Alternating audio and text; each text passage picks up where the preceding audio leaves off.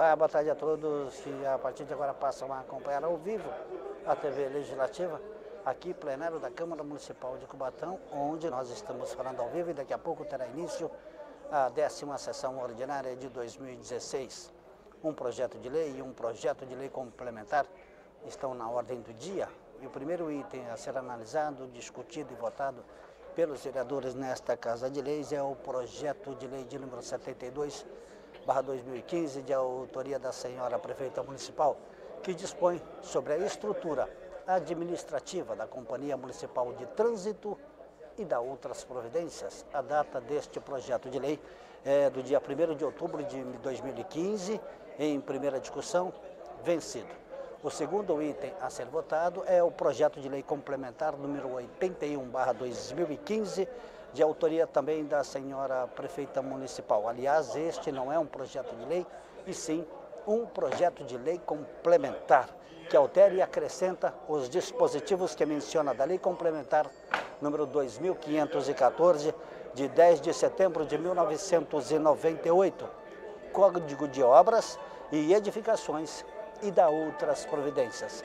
A data deste projeto de lei complementar da senhora prefeita municipal é do dia 30 de novembro de 2015 e está em segunda discussão. Portanto, um projeto de lei e um projeto de lei complementar na ordem do dia da décima sessão ordinária de 2016, aqui nesta Casa de Leis. E se aqui você não pode comparecer, pode nos acompanhar sintonizando o canal 9 da NET ou então pela internet, câmaracubatão.sp.gov.br a sessão será comandada pelo presidente desta casa, o vereador Aguinaldo Alves de Araújo. Aguardem.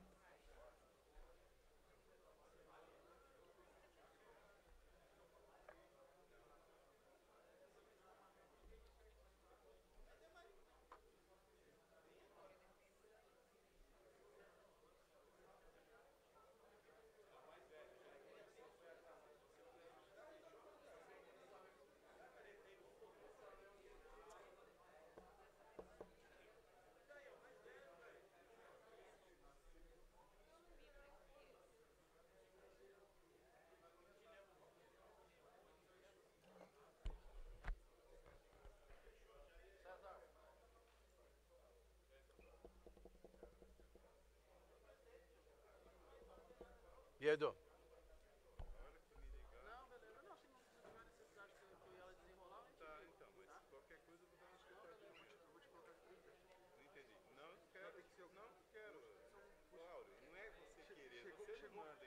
pessoa Não, não é isso. Eu tô sentindo. Eu sentindo os ares. Eu, Áureo, 30 anos de política, 8 anos aqui dentro. Pelo amor de Deus. Os caras os cara tá da gente como se fosse tonto.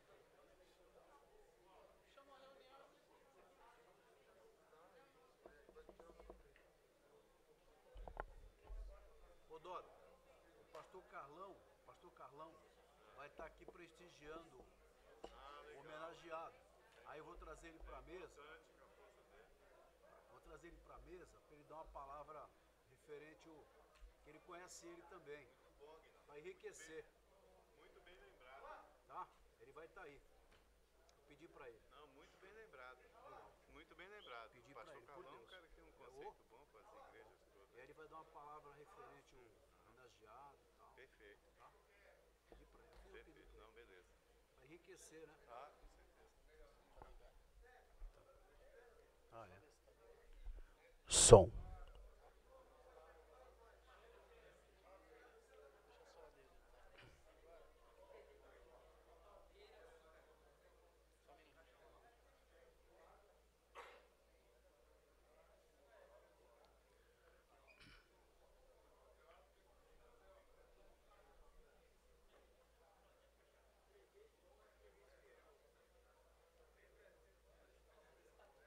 Ok?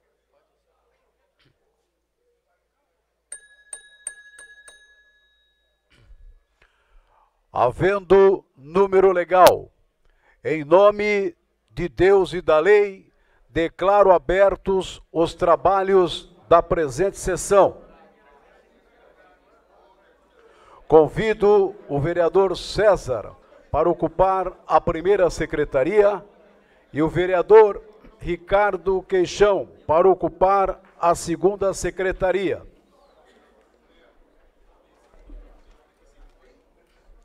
Comunico que se encontra na mesa, à disposição dos senhores vereadores, a súmula da correspondência expedida e recebida. Comunico que se encontra à disposição dos senhores vereadores, na divisão legislativa, o balancete analítico da receita e da despesa do Poder Executivo referente ao mês de dezembro de 2015. Solicito ao senhor primeiro secretário que proceda à leitura do relatório final da Comissão Especial de Vereadores, nomeada através da resolução número 2823 de 12 de novembro de 2015, para conhecimento do plenário. Relatório final da Comissão Especial de Vereadores, nomeada através da resolução número 2823 de 12 de novembro de 2015. Senhor presidente, senhores vereadores, aos três dias do mês de novembro de 2015, foi aprovado nesta Casa o requerimento número 207-2015, de autoria do vereador Ademário da Silva Oliveira, o qual requereu a nomeação de uma comissão especial de vereadores através da resolução número 2823, de 12 de novembro, para investigar os fatores que, ocasion, que ocasionam a fragilização da indústria local e atingem postos de trabalho e analisar as medidas adotadas pela municipalidade para fomentar a indústria e preservar a mão de obra local. A Comissão Especial de Vereadores, composta pelos vereadores Presidente Ademário da Silva Oliveira, relator César da Silva Nascimento, e os vereadores membro Fábio Alves Moreira, Fábio Moura dos Santos, Ivan da Silva, Jair Ferreira Lucas, Ricardo de Oliveira, Agnaldo Alves de Araújo, Wagner Moura dos Santos, Adeildo Eleodoro dos Santos e Severino Tarcísio da Silva. Os funcionários Maurício André Campina, secretário, Alain Vinícius de Moura e Kleber Alvarenga Almeida, assessores jurídicos. Deliberou aos 23 dias de novembro de 2015 a instalação da comissão de vereadores, onde foram amplamente discutidos e analisados os motivos que determinaram a criação da presente Comissão Especial de Vereadores. E foi deliberado enviar ofício convocando os secretários senhor Carlos Alberto Benicasa, secretário municipal de Emprego e Desenvolvimento Sustentável, senhor Edson José de Aguiar, senhor secretário municipal de Finanças, senhor Gerinaldo de Albuquerque, secretário municipal de Planejamento, o senhor Valmir Ramos, representante, representando o senhor Valdir José Coabiano, presidente do CIESP, o senhor Marco da Silva Cipriano, representante, representando o CETESB, e o senhor Florencio Rezende de Sá, presidente do Sindicato dos Metalúrgicos. Da Baixada Santista, o presidente da Votorantim, da Engebrasa e da AMOI, Presentes ainda, sem serem convocados, o Dr. Paulo Toledo, secretário municipal de Jurídico, senhor José Carlos, secretário de Urbanização, senhor João Paulo, senhor Carlos Roque, senhor Paulo Egídio Teixeira, senhor José Roberto Baldini, Dr. Jefferson Cansou e o senhor Pedro de Safilho.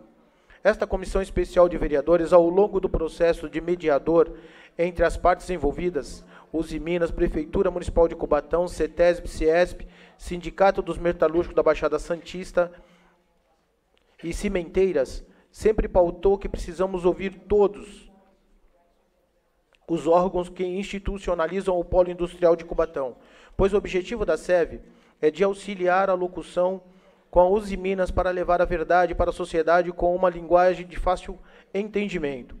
Aos dois dias de dezembro de 2015, reuniu-se na Comissão Especial de Vereadores com os secretários municipais, o senhor presidente da comissão, vereador Ademário, perguntou aos secretários qual seria a taxa de desemprego no município e qual será após o fechamento da Uzi Minas. O senhor, o senhor Benicasa, segundo o CAGEP, a empresa vai manter cerca de mil empregos diretos. A Uzi Minas vai demitir cerca de 4 mil diretos, serão em torno de 5 mil demissões indiretas. Caso ocorra essa tragédia, esta crise vai atingir todas as regiões, inclusive a zona portuária, que também já está perdendo emprego. Em Santos, houve uma grande briga para, para ocorrer a dragagem. Em contrapartida, aqui a dragagem saiu. O que precisamos é saber o que vão fazer. De fato, falaram que ia passar a ser retroporto. Vamos treinar o pessoal para trabalhar lá? A Uzi Minas é a ponta do iceberg? Se ela está ruim e as outras também podem estar, precisamos saber o que eles querem.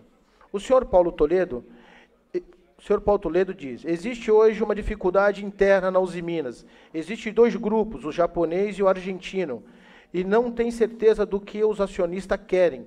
Não existe clareza. O senhor Benicasa, todos brigam para que a Uzi Minas continue, porque não falam da, dos 10 mil cadastros do PAC. Houve uma parada por 3 mil vagas e só pegaram 700 pessoas na cidade. O senhor Gerinaldo, já houve problemas semelhantes na cidade com o MID, com a MD Papéis, e não houve nada a fazer. Hoje o governo já faz gestão para atrair novos empreendimentos, ou seja, uma nova atividade para o local. O senhor Baldini, na MD Papéis foram 470 demissões, no caso da, de outras atividades local vão contratar cerca de 100 pessoas no máximo. O senhor José Carlos, presidente do Conselho da Uzi Minas, afirmou que nunca viu isso na vida. Realmente há um jogo, há um jogo de interesse e uma guerra.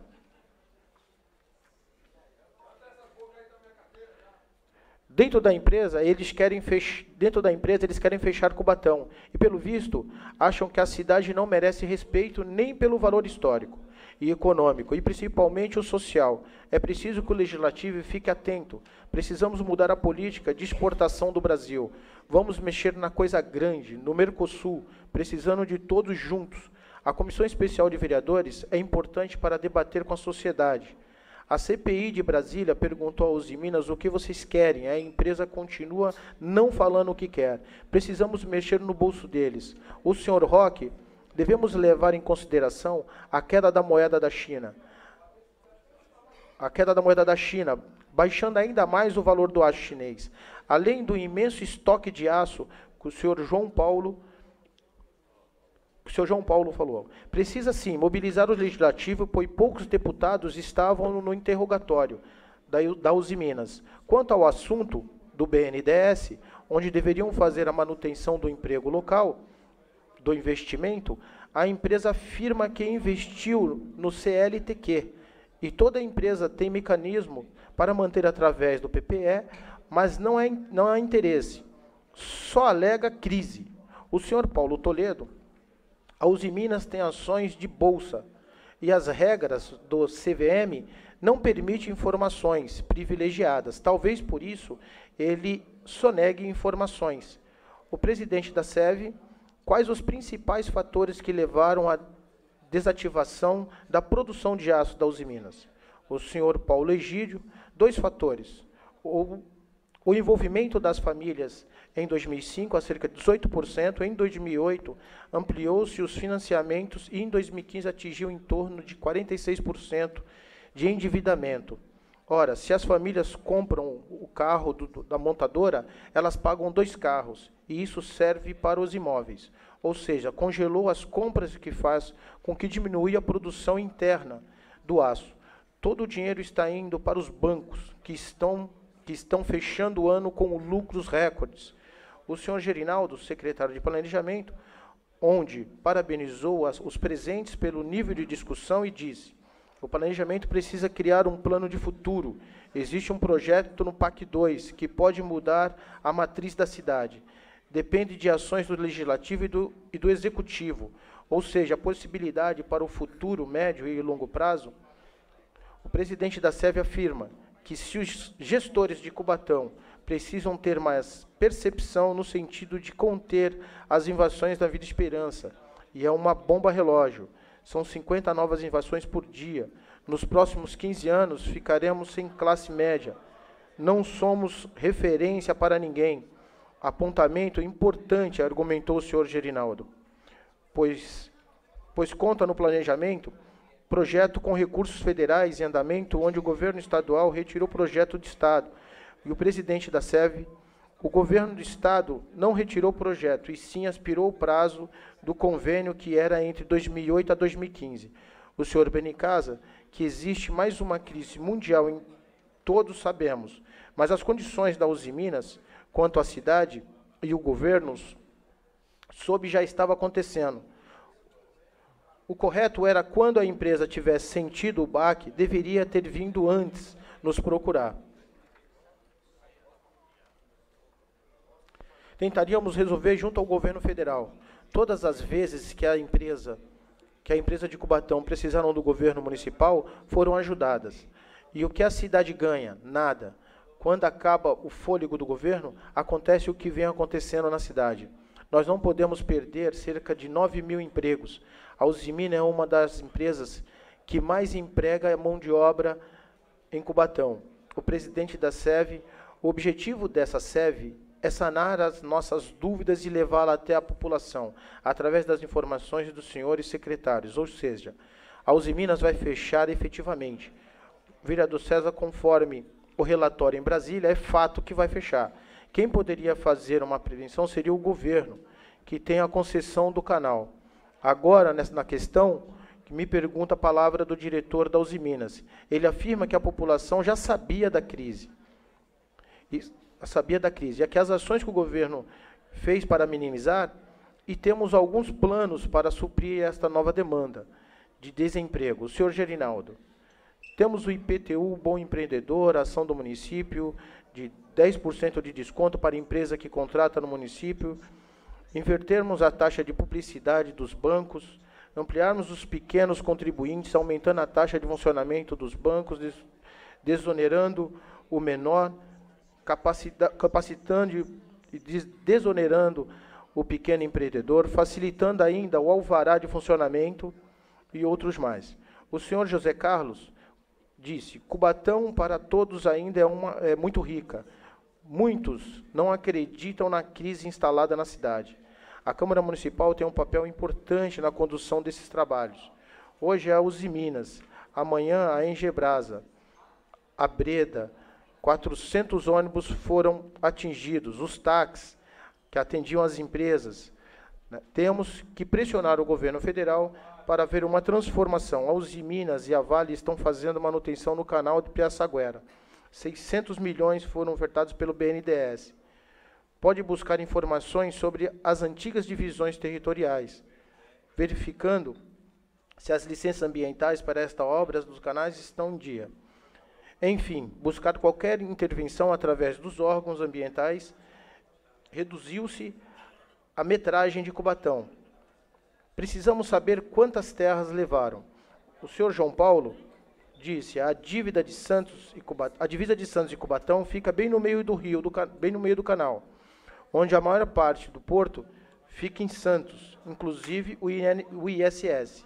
O presidente da SEV disse: há um, há um outro fenômeno ocorrendo na cidade, que é o esvaziamento do comércio do centro da cidade, indo para as, os bairros periféricos que hoje praticamente se tornou uma cidade, onde se é possível ver carros caros e comércio de grande porte, bem estruturado. Não é, não é preocupante para a municipalidade este fato no ponto de vista tributário? O senhor Paulo Egídio respondeu que não poderíamos tributar isto é fato, pois quem foi não paga. Somente o ICMS para o Estado, mas é realmente uma perda Quantos pagam IPTU? Disse o senhor presidente da SEB. O senhor Paulo Egídio retrucou. Em torno de 25 mil habitantes, segundo informação dadas pelo cartório, em torno de 80 mil moradores.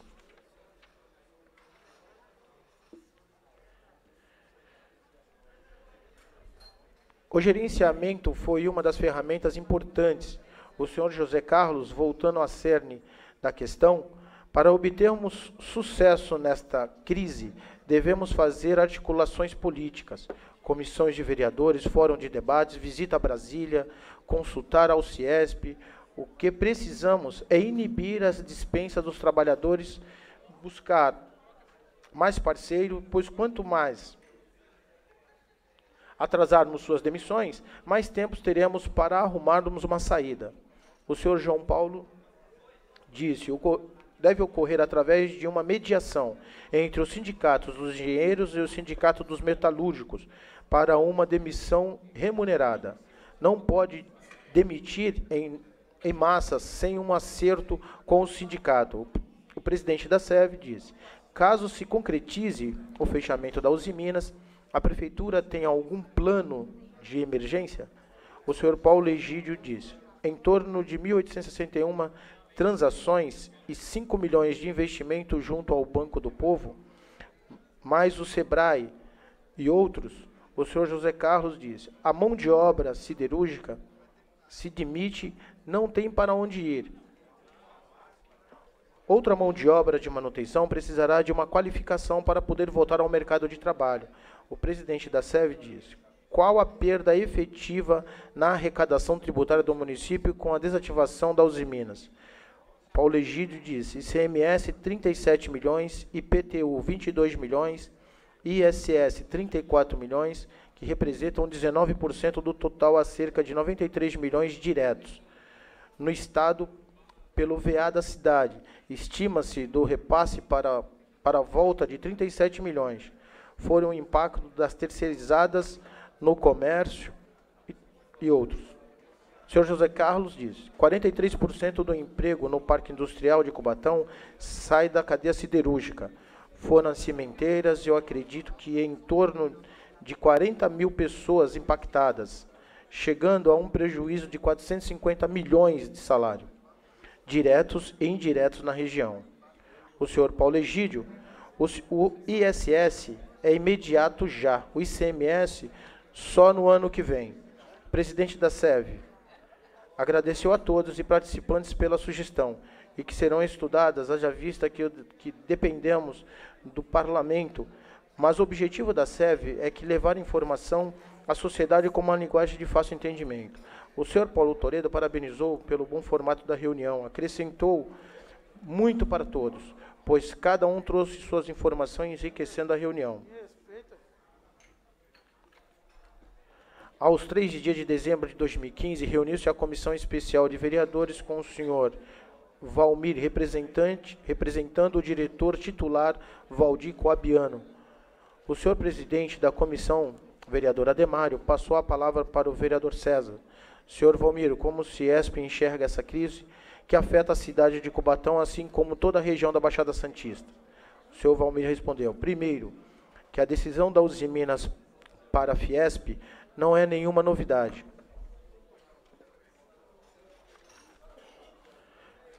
Nós já sabíamos, acompanhávamos todos os meses. E a Ciesp já sinalizava com, com os indicadores no último megapolo.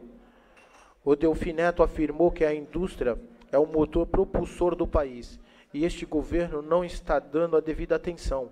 O nosso Ciesp, Cubatão, é apartidário, temos a mesma estrutura tanto do Ciesp como do Fiesp. A Usimina já sinalizava há muito tempo esta crise. Quem conhece essa empresa hoje sabe que ela se transformou em pátio de placa de aço, pois não consegue vender 90% da diretoria, 90% do que produz. A diretoria do Fiesp são donos de empresas, e as empresas do polo eram de Cubatão quando eram Cozipa, Ultrafert, entre outras, o presidente era de Cubatão. A partir do momento que ocorreram fusões, fábricas viraram unidades onde o presidente não está mais em Cubatão, o controle da indústria não está mais na cidade. Naquela época, quando precisávamos de algo, ligávamos para o presidente da indústria e ele resolvia. Hoje, você faz um pedido, este vai para o lugar com outros tantos pedidos. Particularmente, hoje, para resolvermos um problema, temos que unir o poder público, empresarial e o Executivo. Depois da Uzi Minas virão muitas outras, todas devem dar exemplo dentro de suas áreas com os projetos e obras necessárias para solucionarmos o gargalo logístico e de segurança. O CIESP é educado para trabalhar com indicadores, com resultados. Quem gera mais emprego no país? A indústria, é claro. Temos que pensar localmente. O que temos de fazer aqui? Falei para o ministro, o senhor não precisa ir para nenhum outro lugar para ver indústria nesse Brasil. Vai para Cubatão, que o senhor vai saber como está a situação da indústria. O vereador Wagner Moura disse em discussão: está errado. Você investir em qualquer em coqueria é que é muito caro. Hoje o foco naquela região deverá ser retroportuário. O senhor Valmir disse: o que a Uzi Minas vai fazer? É um objetivo dela. Não temos gestão sobre ela. O que o senhor vereador está falando não é de Cubatão, é do Brasil todo.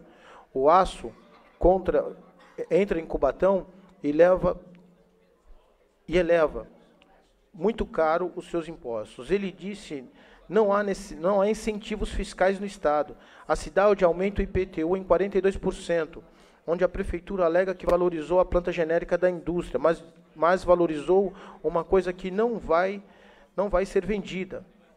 O vereador Wagner disse: Hoje a discussão é de manter o emprego e não temos alternativas. Precisamos saber o que a indústria quer e em que contrapartida deve, de, desenvolveremos em outras áreas. O senhor Valmir, precisamos atrair investidores, investimentos. Com o valor do dólar bem lucrativo, agora precisa ser sério. A Agenda 21 tem a responsabilidade e parceiros objetivos e prazos para a conclusão dos projetos, mas para a prefeitura colocar uma cerca é concluído. Precisa ter responsabilidade e um outro exemplo. O programa Não Vou Pagar o Pato não chega a 800 mil curtidas, enquanto outros baboseiras no Face têm mais de bilhões de curtidas.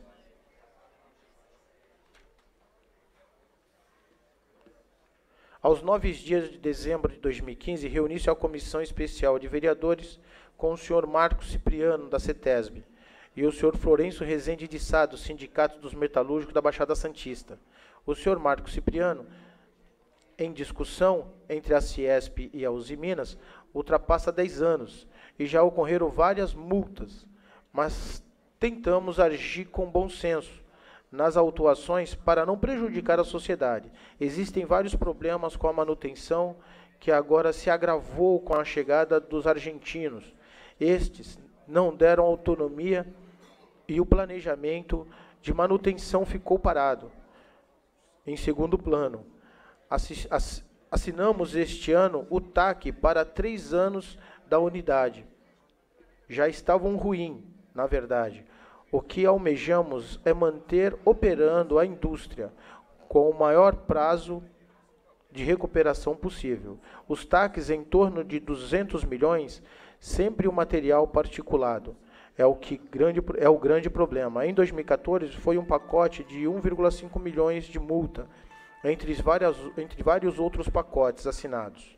Em maio de 2015, homologado, em setembro, uma compensação ambiental pedida pela promotoria. O senhor presidente da SEV disse: não pagaram o TAC? Tem legitimidade de exigir o pagamento executando, executado juridicamente? O senhor Alan disse: você perde o TAC pelo período fechado, perda do objeto. Mas o TAC pelo dano ambiental causado deve ser pago. Caso seja decretado falência, só não paga caso for decretado falência. É possível requerer os taxas no artigo 97 assinado? Qualquer credor pode requerer. O senhor presidente da SEV ficou mais convicto que é um caminho sem volta.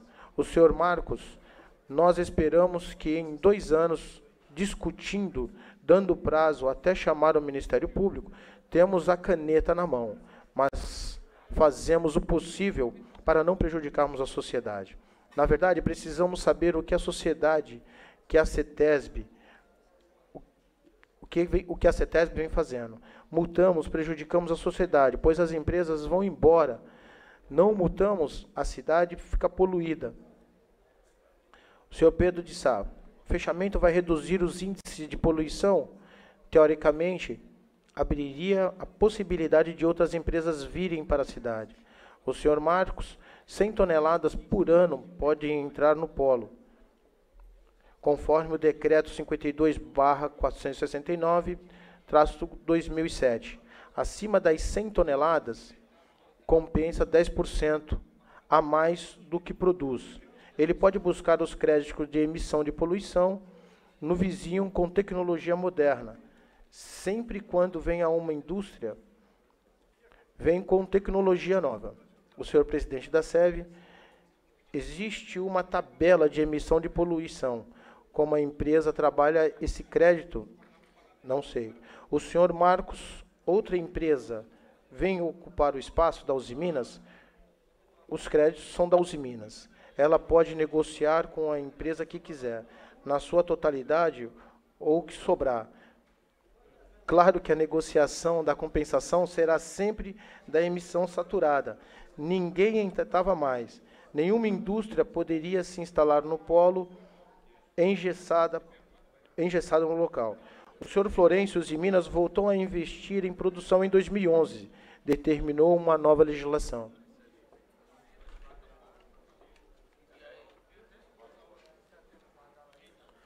Aos 16 dias de outubro de 2015, devido à ausência dos dirigentes das cimenteiras, não houve reunião da Comissão Especial de Vereadores. Diante da análise dos depoimentos prestados pelos secretários municipais CIESP, CETESB e Sindicato dos Metalúrgicos da Baixada Santista, a presente comissão, os quais encontraram em anexo a autos de presente processo a esta Comissão Especial de Vereadores, presidida pelo vereador Ademário da Silva Oliveira, vereador César da Silva Nascimento, relator, e os vereadores Fábio Alves Moreira, Fábio Moura dos Santos, Ivan da Silva, Jair Ferreira Lucas, Ricardo de Oliveira, Agnaldo Alves de Araújo, Wagner Moura dos Santos, Adeildo Eliodoro dos Santos e Severino Tarcísio da Silva, membros. O senhor presidente da Comissão de Vereadores Ademário lamentou pela ausência dos dirigentes da Votorantim, da Engerbrasa e da MOI, seria importante conhecer a crise que afeta o setor industrial pela ótica das cimenteiras, haja vista que essas empresas sofrerão impacto direto com a crise da Uzi Minas. Esta comissão especial de vereadores conclui que é indiscutível que a cidade vai passar por uma mudança drástica no sentido da possível evasão das indústrias do cenário do cenário da nossa cidade, que estamos acostumados.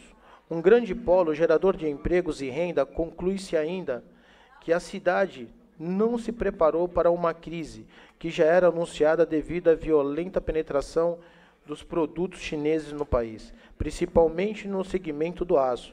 O governo federal, como bem afirma o dirigente do CIESP, não investiu no setor industrial.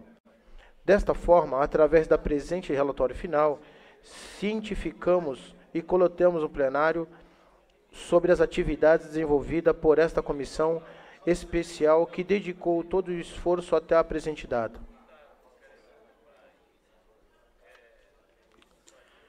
É que tínhamos a relatar. Sala Dona Helena Melete Cunha, 2 de março de 2016. Vereador Ademário da Silva Oliveira, presidente. Vereador César da Silva Nascimento, relator. Vereador Agnaldo Alves de Araújo. Vereador Fábio Alves Moreira, vereador Severino Tarcísio da Silva, vereador Fábio Moura dos Santos, vereador Adeildo Eleodoro dos Santos, vereador Ivan da Silva, vereador Wagner Moura dos Santos, vereador Jair Ferreira Lucas, vereador Ricardo de Oliveira, membros. Agradeço ao vereador Ricardo Queixão por ter ocupado a nossa mesa. Convido o vereador César Silva Nascimento para ocupar a segunda secretaria e o vereador Ademário para ocupar a primeira secretaria.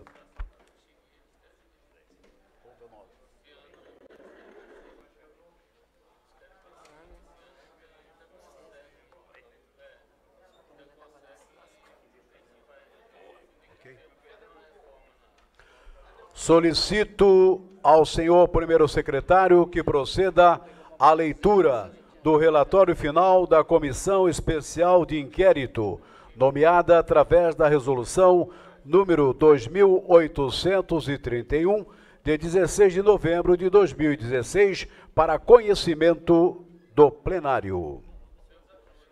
Senhor presidente, senhores vereadores, aos 15 dias do mês de fevereiro do ano de 2016, foi aprovado nesta casa o requerimento número 1 de 2016, de autoria do vereador de Oliveira, Ricardo de Oliveira, o qual requereu a nomeação de uma comissão especial de inquérito através da resolução 2831 de 16 de fevereiro de 2016, para convocar a empreiteiras, eventos e travassos para apresentar toda a documentação, liberações e contrato de prestação de serviços, incluindo valores, a fim de encontrar uma solução ao prejuízo causado aos munícipes residentes da Vila dos Pescadores, em virtude das obras realizadas na construção do viaduto do Jardim Casqueiro. Comissão Especial de Inquérito, composta pelos vereadores Ricardo de Oliveira, presidente, Adeildo Eleodoro dos Santos, relator, e Jair Ferreira Lucas, membro. Estavam presentes os senhores Emílio Rossato, doutor Rodrigo Centeno Suzano, advogado da empresa Azevedo e Travasso. O presidente desta comissão levou ao conhecimento dos participantes os problemas estruturais nas casas e alagamentos que as obras, porventura, passam a ter causado devido ao reinício das mesmas. Foi solicitado o nome e domicílio eleitoral de todos os contratados para a obra do viaduto no Jardim Casqueiro. A empresa em questão apresentou todos os documentos solicitados por essa comissão e se colocaram à disposição para quaisquer futuras consultas. Em virtude dessa ocorrência, o presidente entende que essa comissão de inquérito deve ser encerrada atendendo ao regimento interno desta casa. Requeremos ainda que cópia do mesmo relatório seja encaminhada para a Sociedade de Melhoramentos da Vila dos Pescadores, Sociedade de Melhoramentos da Vila Esperança, Sociedade de Melhoramentos Caíque e Sociedade de Melhoramentos da Água Fria é o que tínhamos a relatar. Sala Dona Helena Melete Cunha, 5 de abril de 2016. Vereador Ricardo de Oliveira, presidente. Vereador Adeildo Leodoro da Silva, relator. Vereador Jair Ferreira Lucas, membro. Kleber Alvarenga Campos Almeida, assessor jurídico.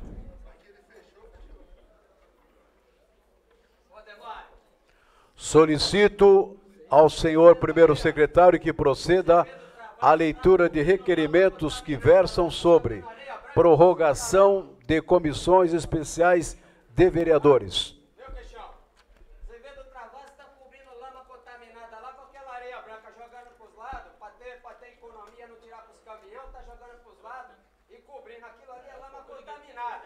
Eu já chamei até a polícia ambiental lá, só que ninguém viu isso ainda. Senhor presidente, nobres vereadores, tendo em vista o vencimento do prazo da Comissão Especial de Inquérito, nomeado pela Resolução número 2832 de 2015, a fim de tratar junto às autoridades competentes, visando encontrar solução para as constantes enchentes que atingem o bairro do Vale Verde. Sem que seus objetivos tenham sido plenamente alcançados, é que requer, observadas as formalidades regimentais e ouvido do outro plenário, a prorrogação por mais 45 dias da presente SEV. Sala Dona Helena Melete Cunha, 5 de abril de 2016. Agnaldo Alves de Araújo, vereador.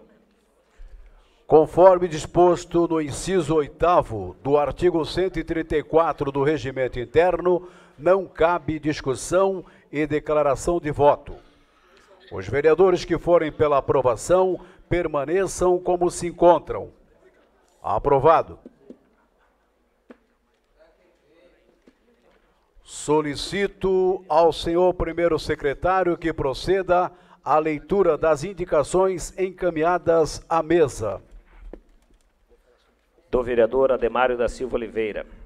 Realização de estudos a fim de enviar a este Poder Legislativo projeto de lei que cria o bilhete do desempregado no âmbito municipal e da outras providências. Encaminha-se. Do vereador Aguinaldo Alves de Araújo. Manutenção das lombadas e na sinalização de trânsito da Avenida Tancredo Neves, na Vila São José. Encaminha-se. Manutenção na calçada da Rua Embaixador Pedro de Toledo, no centro. Encaminha-se. Manutenção na calçada da rua Professora Ana Dias, na Vila Paulista. Encaminha-se. Manutenção na calçada da rua Embaixador Pedro de Toledo, na Vila Paulista. Encaminha-se. Do vereador César da Silva Nascimento. Gestões junto à Cursam para efetuar roçada de mato no acesso do caminho 2 na Vila Natal. Encaminha-se.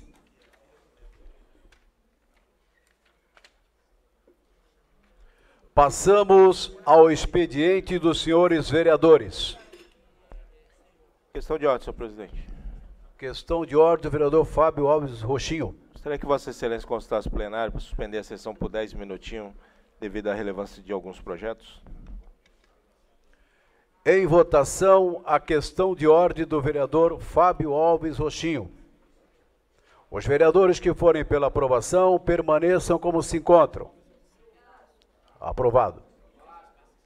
Está, portanto, suspensa a sessão por 10 minutos.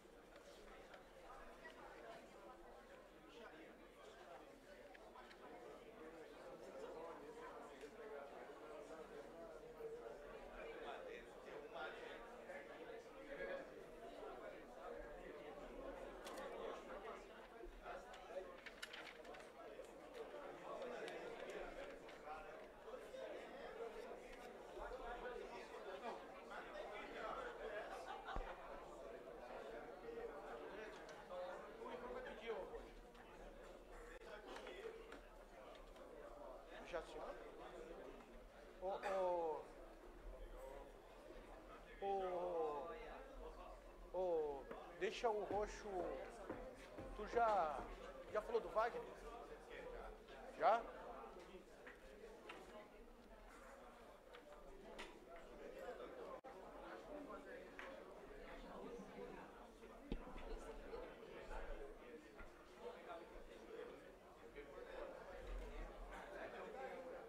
Aí, pra quem já tá.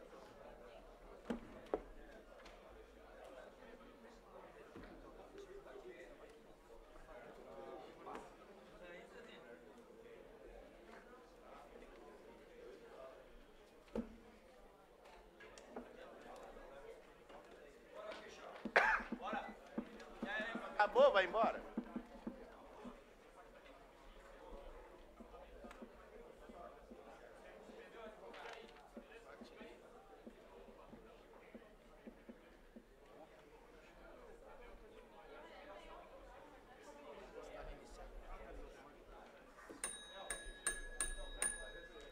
Está reiniciada a presente sessão.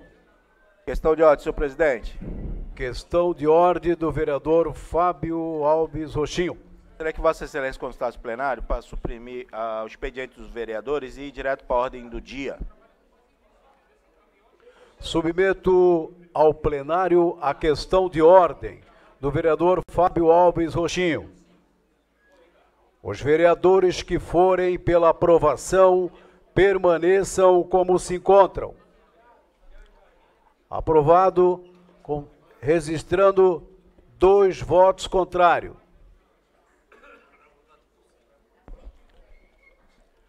Conforme deliberação do plenário, passamos à ordem do dia.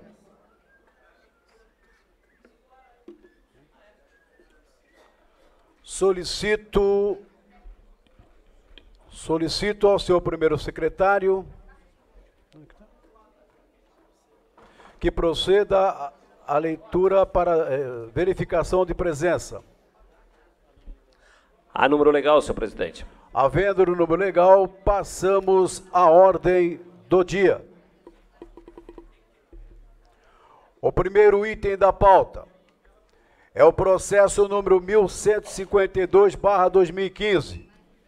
Projeto de lei número 72 barra 2015. Autoria: Prefeita Municipal. Esta presidência esclarece que a presente propositura foi pautada para a ordem do dia desta sessão em obediência ao disposto do parágrafo 1 do artigo 54 da Lei Orgânica do Município, eis que o prazo para sua apreciação expirou-se no dia 30 de março do corrente ano. Solicito ao senhor primeiro secretário que proceda à leitura do parecer contrário à tramitação do projeto de lei e também da mensagem aditiva exarado pela Comissão de Justiça e Redação. De ordem, presidente. Questão de ordem do vereador Fábio Moura. Só para justificar a ausência do vereador Wagner Moura, que não pôde estar presente à sessão por motivos de razão. Aus, ausência, Razões ausência justificada. Muito obrigado. Ausência justificada. Muito obrigado. Parecer. É de autoria da excelentíssima prefeita municipal o projeto de lei que dispõe sobre estrutura administrativa da Companhia de Trânsito de Cubatão e da outras providências. As folhas 93/98 e as folhas 128/129 e 29 encontram-se os pareceres exarados pela douta assessoria jurídica da Casa, sendo de se esclarecer que o primeiro se refere implicitamente aos termos do projeto de lei e segundo tem por escopo tão e unicamente a apresentação da mensagem aditiva de folhas 123/125. Da análise do conteúdo de ambos e sua adequação aos termos da propositura, somos compelidos a acatar a integralidade da manifestação inicialmente posta, pela sua juridicidade, pelo que a seguir transcrevemos. A propositura encontra-se devidamente acompanhada de mensagem explicativa, onde se assevera, em síntese, que o objetivo do presente projeto é dotar a CMT de uma estrutura organizacional adequada às funções que deve desempenhar no sentido de atender às reais necessidades da população e aos programas de ação governamental a cargo do município possibilitando a CMT adequar a sua estrutura organizacional aos objetivos dos planos e programas de ação a serem desenvolvidos pela administração da autarquia. Enfatiza também que os trabalhos centra centraram-se no objetivo de fortalecer a organização administrativa da referida autarquia, de forma bastante realista e, principalmente, sem onerar os cofres públicos municipais com propostas irreais e antieconômicas. Por fim, desta que o projeto de lei atende às, aos princípios constitucionais bem como a Lei de Responsabilidade Fiscal. São estas, em síntese, as razões do projeto de lei. Inicialmente, temos que o projeto vem acompanhado de anexos contendo a. Quadro de cargos em comissão de livre nomeação e de funções gratificadas. B. Quadro de pessoal permanente. C. Quadro de cargos em extinção. D. Organograma, tabela salarial, atribuições e quadro de transmissões após a implementação da lei. O projeto também vem instruído com a declaração nos termos do artigo 16 da Lei Complementar 101/2000, folhas 86, onde informa que o projeto de lei está adequado orçamentária e financeiramente com a Lei Orçamentária Anual e é compatível com o Plano Plurianual e com a Lei de Diretrizes Orçamentárias. E as folhas 87/88 traz o cálculo de impacto da folha para este exercício e para os exercícios de 2016 e 2017. A iniciativa se adequa aos pressupostos de origem do Executivo. A Constituição Federal, no parágrafo 1 do artigo 169, prevê: Parágrafo 1. A concessão de qualquer vantagem ou aumento de remuneração, a criação de cargos, empregos e funções ou alteração de estrutura de carreira, bem como a admissão ou contratação de pessoal a qualquer título pelos órgãos e entidades da administração direta ou indireta, inclusive fundações instituídas e mantidas pelo poder público, só poderão ser feitas Inciso 1. Se houver prévia dotação orçamentária, é suficiente para atender às projeções de despesa de pessoal e aos acréscimos pela decorrentes. 2. Se houver autorização específica na Lei de Diretrizes Orçamentárias, ressalvadas as empresas públicas e as sociedades de economia mista, incluído pela Emenda Constitucional número 19 de 1988. A Lei Complementar número 101 de 45 de 2000, Lei de Responsabilidade Fiscal, exige a apresentação de a estimativa de impacto orçamentário financeiro no exercício em que deva entrar em vigor e nos dois subsequentes. B declaração do ordenador da despesa de que o aumento tem adequação orçamentária e financeira com a lei orçamentária anual e compatibilidade com o plano plurianual e com a lei de diretrizes orçamentárias.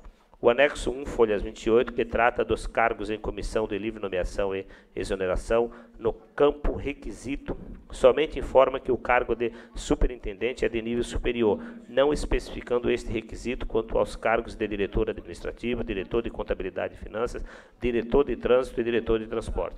Neste caso, se analisarmos as atribuições dos cargos de diretor, verificamos que as mesmas possuem características que indicam que no mínimo, o profissional deve ter nível superior na área de atuação.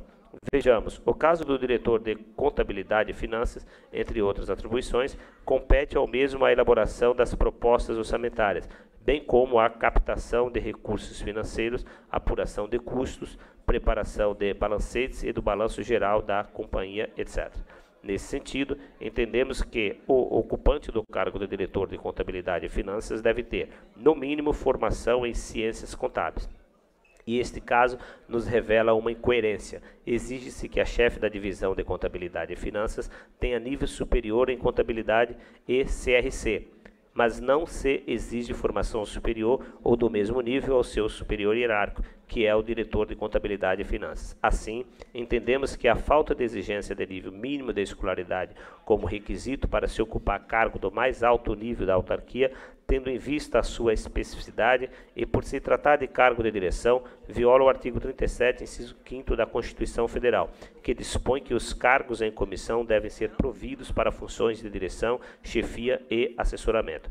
Sobre a qualificação e experiência como requisitos para ocupar cargos em comissão, citamos o entendimento do Tribunal de Contas do Estado de São Paulo, nos autos do TC 002338-026 de 2010 Infere-se, assim, que os cargos em comissão não foram criados para atividades ordinárias e burocráticas da administração, devendo ser utilizados em posições estratégicas e imprescindíveis para potencializar e elevar o nível da gestão pública. Isso ocorre mediante o respectivo preenchimento por pessoas dotadas de relevante qualificação ou notória experiência na área correspondente, sem necessidade de concurso público.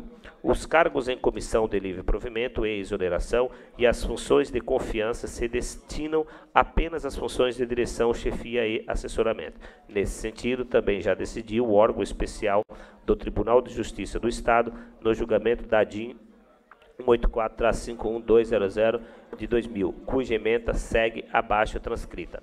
Ação direta de inconstitucionalidade. Ação proposta objetivando a declaração de inconstitucionalidade do anexo 1 da Lei Municipal número 3154 de 26 de dezembro de 2010, do município de Itapeva, que dispõe sobre a reestruturação do plano de cargos e salário da Câmara Municipal de Itapeva e da outras providências. Funções que não exigem nível superior para seus ocupantes, cargo de confiança e de comissão, que possuem aspectos conceituais diversos, inexigibilidade de curso superior aos ocupantes dos cargos, que afasta a complexidade das funções, cargos de assessoria parlamentar e chefe de gabinete parlamentar, que não se coadunam com o permissivo legal, afronta aos artigos 111, 115, incisos 2, 5 e 144 da Constituição Estadual. Ação procedente.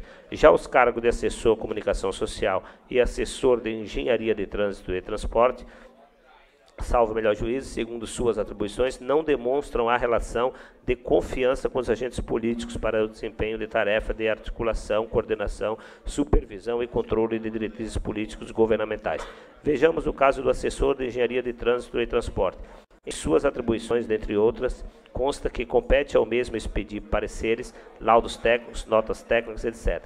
Tais atribuições, ao nosso ver, não se coadunam com as funções de direção, chefia e assessoramento, bem como não exigem para o seu desempenho relação especial de confiança, possuindo natureza meramente técnica, burocrática e operacional.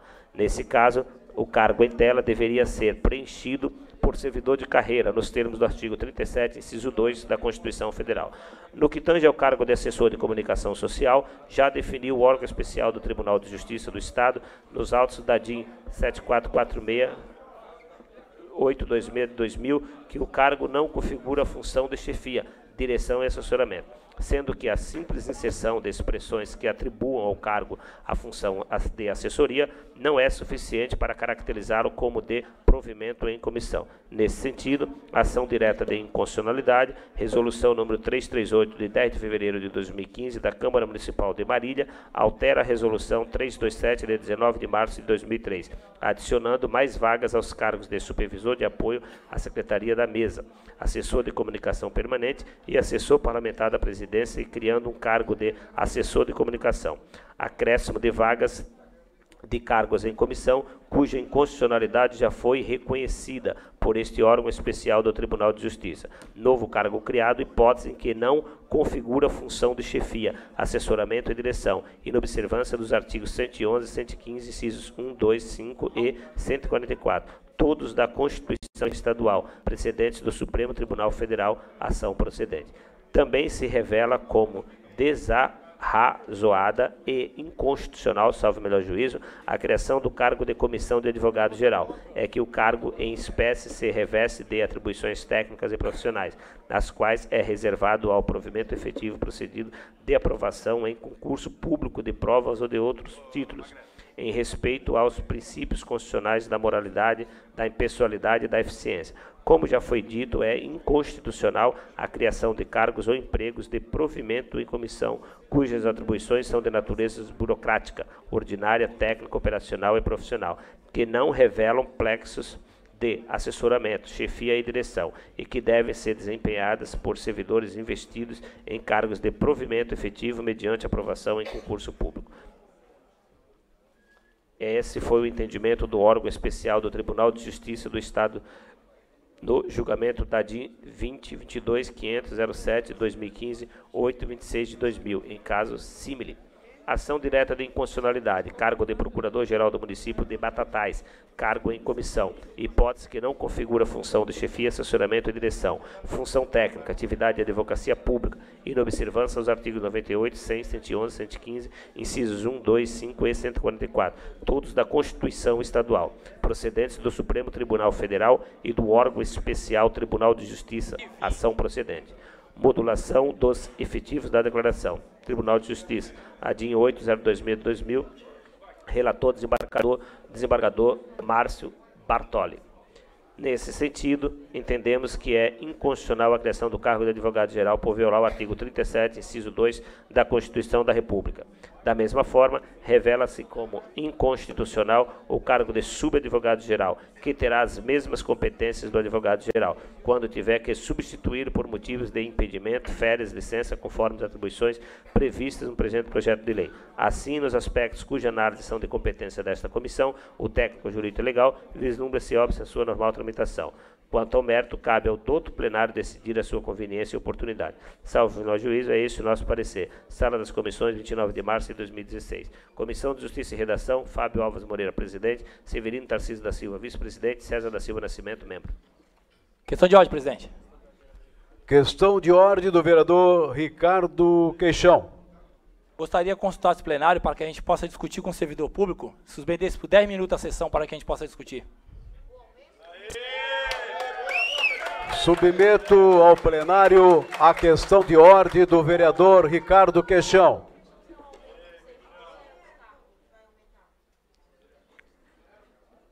Os vereadores que forem pela aprovação permaneçam como se encontram. Rejeitado o pedido do vereador Ricardo Queixão.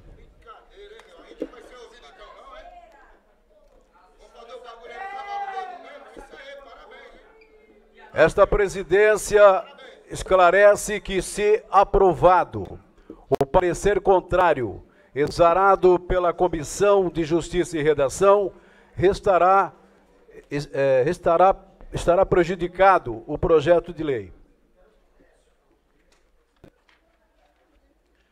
Caso o parecer contrário seja rejeitado, a presente propositura receberá parecer verbal das demais comissões em plenário.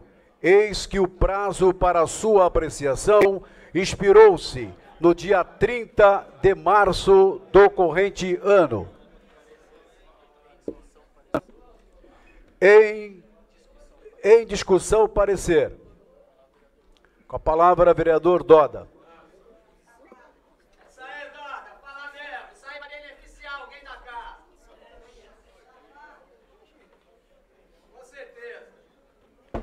Senhor presidente, senhores vereadores, tem sido assim, vai ser assim e é assim. Aqui passa boi e passa boiada, mas às vezes não passa nem o alfinete também quando essa casa quer. É importante ter postura, posicionamento e vai ser assim, tem sido assim até 31 de dezembro deste ano. Enquanto eu estiver aqui, vai ser assim. Meu voto sempre fundamentado e o porquê quando a gente vota favorável ou contra. Hoje estou votando contra e vou falar por quê. Porque o vereador ele tem que ele tem que sempre se posicionar e tem que ter a postura de encarar. Já encaramos essa plateia aqui, ó, isso aqui lotado que não tinha nem espaço para ficar aqui. Agora essa prefeita que está aí, que eu chamo de desgoverno e é um desgoverno que não merece nem o crédito desta casa. E temos mostrado aqui durante oito anos em cada uma fala, em cada uma votação, é o desrespeito com esta cidade. Não é nem mais com o legislativo só, é com a cidade como um todo. Mas para passar algumas situações, tem que passar por este crivo desta casa. E desde o ano passado, que está correndo nesta casa esse projeto de lei, esse projeto que cria a estrutura administrativa da Companhia Municipal de Trânsito, mas não respeita esta casa. Não dá a mínima. Eu e o vereador César questionamos algumas complementações, não deram a mínima. Agora, hoje vai ter que passar aqui? Não passa. Não passa porque tem que respeitar. Agora, manda isto aqui, ó. Vocês que estão em casa e aqui, não têm ideia do que está escrito aqui. Uma série de situações, inclusive complementações de cargos comissionados e FGs agora inclui uma série de demanda e vem questionar o trabalho sério dos vereadores desta casa. Mas não é assim que a porca tosse o rabo, não. Não é assim que funciona, não. Não discutiu, não respeitou. Em momento algum vieram aqui, ó, discutir item a item. Somos favoráveis, sim. a uma estrutura realmente adequada e com respeito.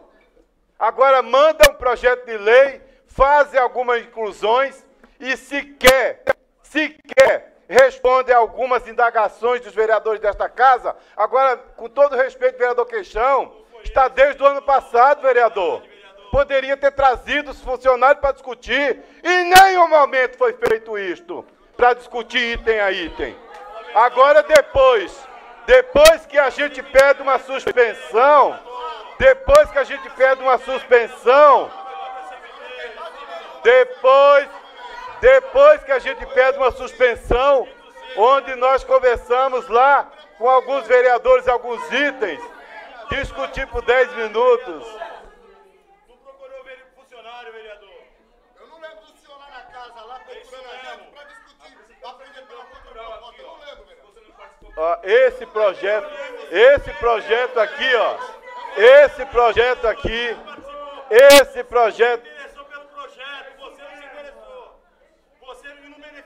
Presidente, questão de ordem, presidente. Eu peço respeito, porque são tudo servidor, tudo comissionado, um diretor, um superintendente e outros que estão. Filho...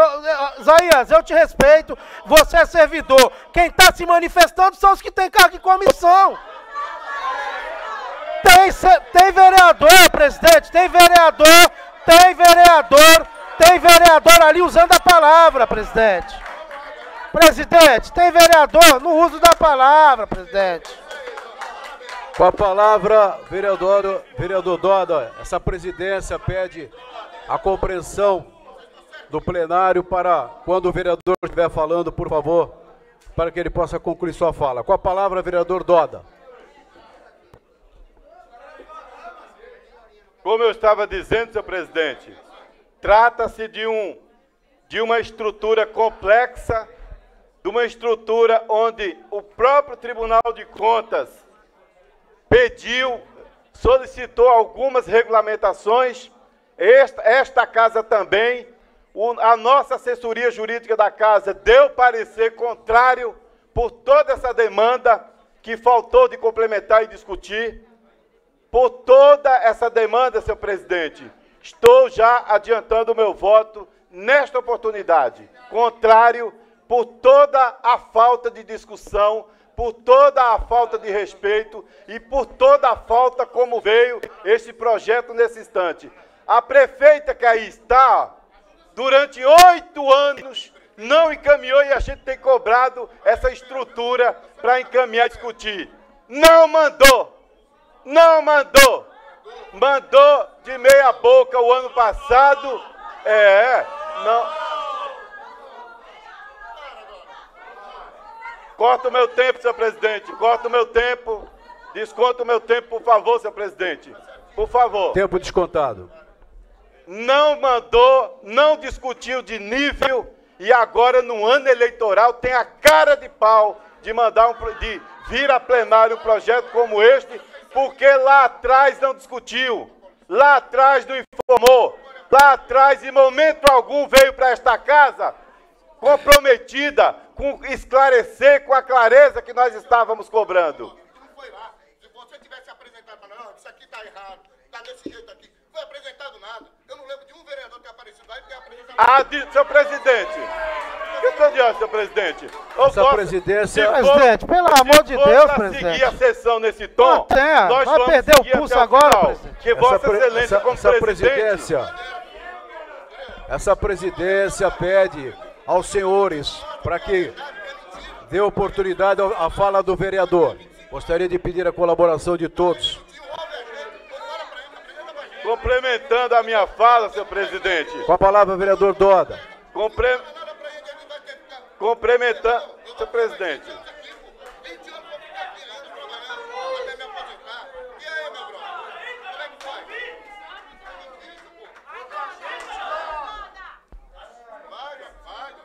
Esta presid...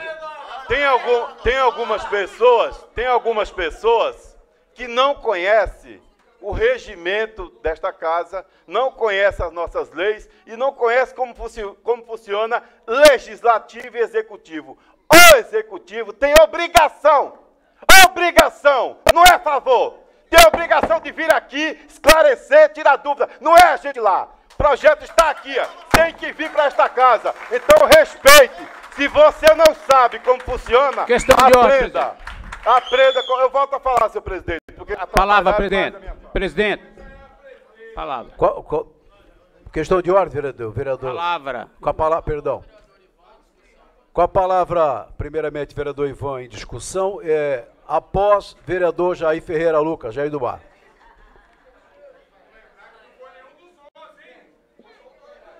Senhor presidente, nobres vereadores, eu quero aqui, presidente Aguinaldo e demais vereadores, e aos que estão nos acompanhando, justificar o voto, porque, como disse, para vir aqui fazer acusações, para vir aqui tentar denegrir a imagem desse legislativo, é a coisa mais fácil do mundo. É só fazer um convite de última hora, a chefia pegar, dizer não, vamos lá, porque lá vai ter coisas do nosso interesse. Mas na verdade, na verdade, eu quero já deixar claro aqui, primeiro, do desrespeito do atual governo. Vou começar aqui falando do dissídio. Tá aí, ó. Servidor público de carreira, totalmente prejudicado, não se enviou para cá, para essa casa, para discussão, o dissídio. Agora me vem aqui, parabéns, nada contra. Eu quero deixar claro aqui que nada contra os trabalhadores, os, aqueles que realmente dão sangue e suor pela CMT. Esses aqui que eu estou dizendo, esses merecem sim. Mas assim, precisa se enviar para essa casa aqui um projeto, um projeto correto, sem pegadinhas.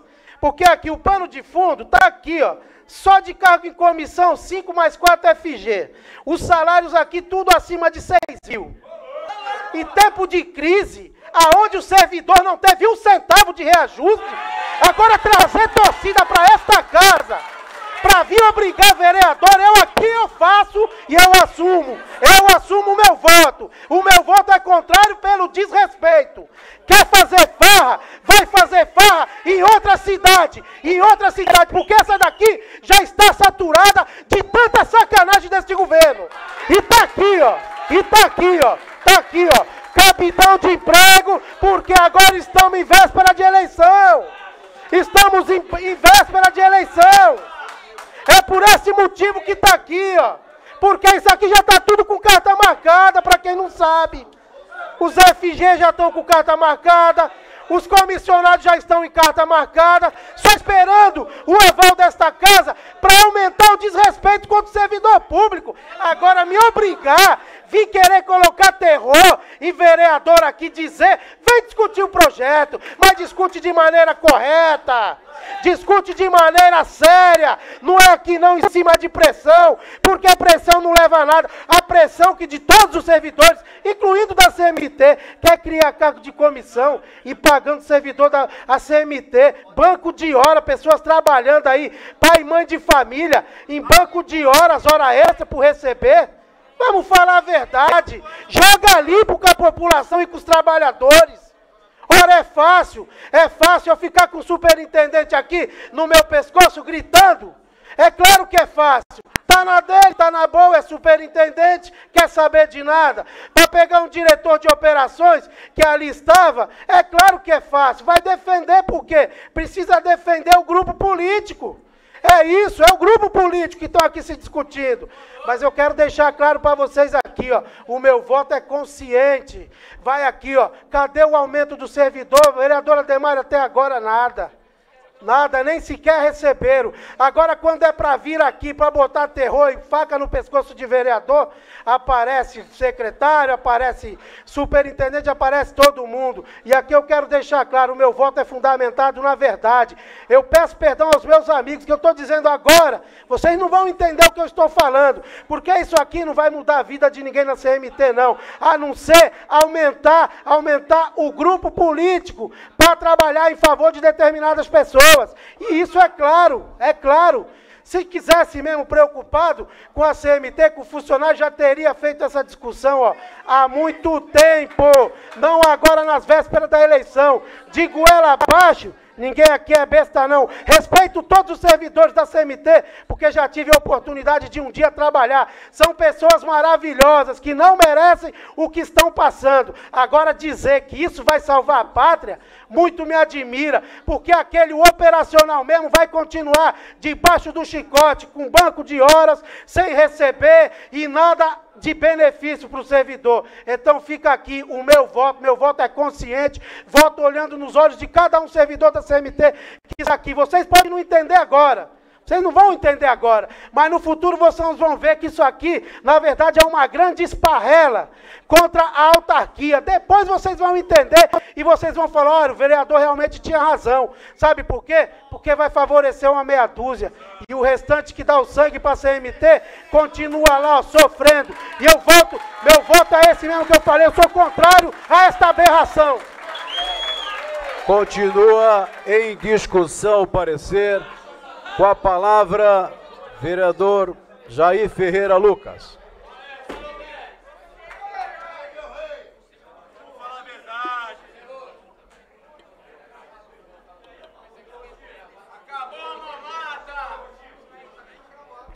Senhor presidente, senhores vereadores, o que eu não entendo hoje, nessa tarde, nessa casa, é os senhores vereadores virem aqui dizer que esse projeto chegou aqui de última hora. Esse projeto está aqui na casa há mais de ano. A doutora Renata, o Chiquita, tudo já apareceu aqui com esse projeto.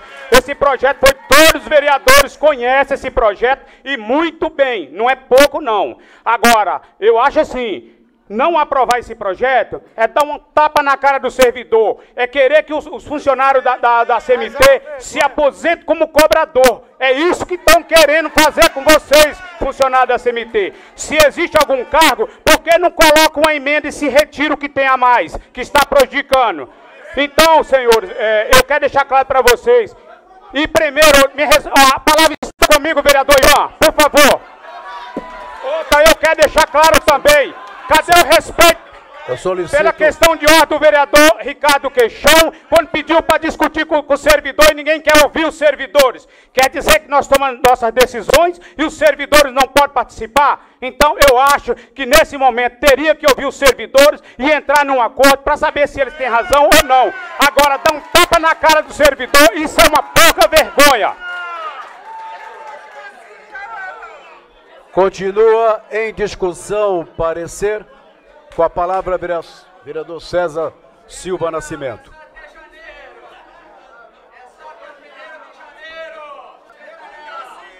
Senhor presidente, nobres pares,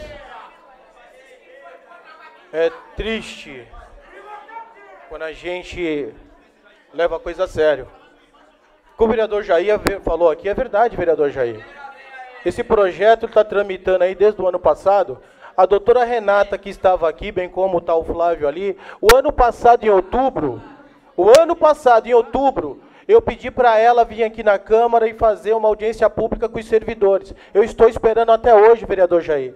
Eu falei para ela que o parecer era contrário e pedi para ela para sentar com o jurídico da casa para adequar para nós não, não rejeitarmos o projeto, porque ele é anticonstitucional. Mesmo aprovado aqui, a justiça não deixa implantar, vereador Jair. Mesmo aprovado aqui, vereador Jair. E em outubro, vereador Jair, eu sentei com a doutora Renata e pedi para ela, vem aqui com o jurídico da casa, tira o projeto, adequa nos apontamentos que o jurídico está fazendo, porque todos os vereadores querem aprovar. E não tirou o projeto. E está aqui o Flávio, ele sabe disso que eu falei para ele. Flávio, tira o projeto. Flávio, tira o projeto adequa. Né? Não participei de nenhuma reunião porque nunca me convidaram. Se convidasse fosse, com certeza estaria lá com prazer. Né? Mas, veja bem, era só. Então me mostra o protocolo. Se você me mostrar o protocolo com a que eu fui convidado, eu retiro o que eu disse. Mas nenhuma reunião fui, fui convocado. E ao contrário, pedi uma audiência pública com os servidores, que está aqui o Jagriele, que pediu, através dos funcionários da garagem que estão fora da CMT, que queriam uma reunião também, e até hoje eles estão esperando. E são servidores também. E está aqui o Jagriele que veio com a comissão aqui. E nós pedimos, simplesmente, para sentar com o jurídico da casa e adequar o projeto. Era só isso. Era só isso, vereador Jair. Era sentar com o jurídico da casa, ter uns apontamentos e adequar o projeto. Não estaríamos aqui discutindo. Mas não. Em nenhum momento se pensou se realmente no funcionário. Se tivesse pensando no funcionário, em outubro do ano passado, a doutora teria tirado o processo, tinha tirado o projeto, tinha adequado e entrado novamente. Como já fizemos aqui várias vezes. O projeto chegar na sexta-feira e na terça está aprovado, vereador Jair. Quando é, quando é de benefício para o servidor público. Não foi uma, não foi duas, não foi três nessa legislatura e Vossa Excelência testemunha. Quantas foram as vezes que o projeto entrou na segunda e na terça nós estávamos votando? Porque era de interesse do servidor. Então, não vamos ser levianos. Não vamos ser levianos. Vamos falar a verdade. Que desde outubro do ano passado eu estou preocupado com esse projeto, que procurei o Flávio, procurei a doutora. Tivemos uma reunião na sala do presidente, onde eu pedi para o presidente, juntamente com a advogada, essa reunião, para tirar o projeto, para adequar Vossa Excelência tirou, vereador Doda? Então não se preocupa com o servidor. Então não está preocupado em realmente beneficiar o servidor. Porque está aí. Não retiraram, deixaram vencer para acontecer o que está acontecendo hoje. É? Então é muito difícil. Ou a gente faz a política séria voltada para quem é de interesse, para quem é para beneficiar realmente, porque está aí. Mesmo se aprovado, vereador Doda, qualquer, qualquer município que entrar no, no Ministério Público é anticonstitucional. Não é eu que disse, é um corpo de juristas. É um corpo de juristas, não sou eu que disse, eu não sou operador do direito. Não sou eu que disse que é anticonstitucional. Está aí, está escrito com várias jurisprudências do Tribunal de Contas, de outros e outras cidades. Então é só pegar e ler. Aqui ninguém está sendo leviano. E aqui não tem um vereador que seja contra nenhum, nenhum servidor público. Ao contrário. Queria nós termos a força e o poder de realmente valorizar o servidor, o servidor público como ele merece. Mas não. Mas não. Trata dessa forma, com jogatina, conduzindo cego, sem dar informação. Porque aí é muito fácil conduzir cego. Conduzir os funcionários que não têm informação, roubando a informação do funcionário, aí é muito fácil conduzir cego. Porque conduzir quem enxerga é difícil, aí você não leva ele para o buraco. Então nós estamos. Está na hora. Está na hora da gente tirar a seta dos olhos. Está na hora da gente abrir os olhos. Né? Ou a gente faz um projeto que venha beneficiar todos da CMT e não só meia dúzia. Vamos discutir. Qual o problema de tirar o projeto, vereador Dó, de readequar? Se os apontamentos estavam feitos, se o interesse era do servidor, né? Qual o problema? Né? Então, cadê? Não, mas quem colocou não foi o funcionário, quem colocou foi a doutora juntamente com a administração. Funcionário não pode tirar projeto daqui. Vossa, Vossa Senhoria sabe que só quem pode tirar o projeto daqui é a prefeita. Vossa Senhoria sabe, o projeto é de autoria dela, então só ela pode tirar. Funcionário não pode. Se o funcionário pudesse, eu tenho certeza que não estaria desse jeito. Se fosse feito pelo funcionário, eu tenho certeza que não estaria desse jeito. Volta a falar, presidente. Continua em discussão o parecer. A palavra, vereador Ademário.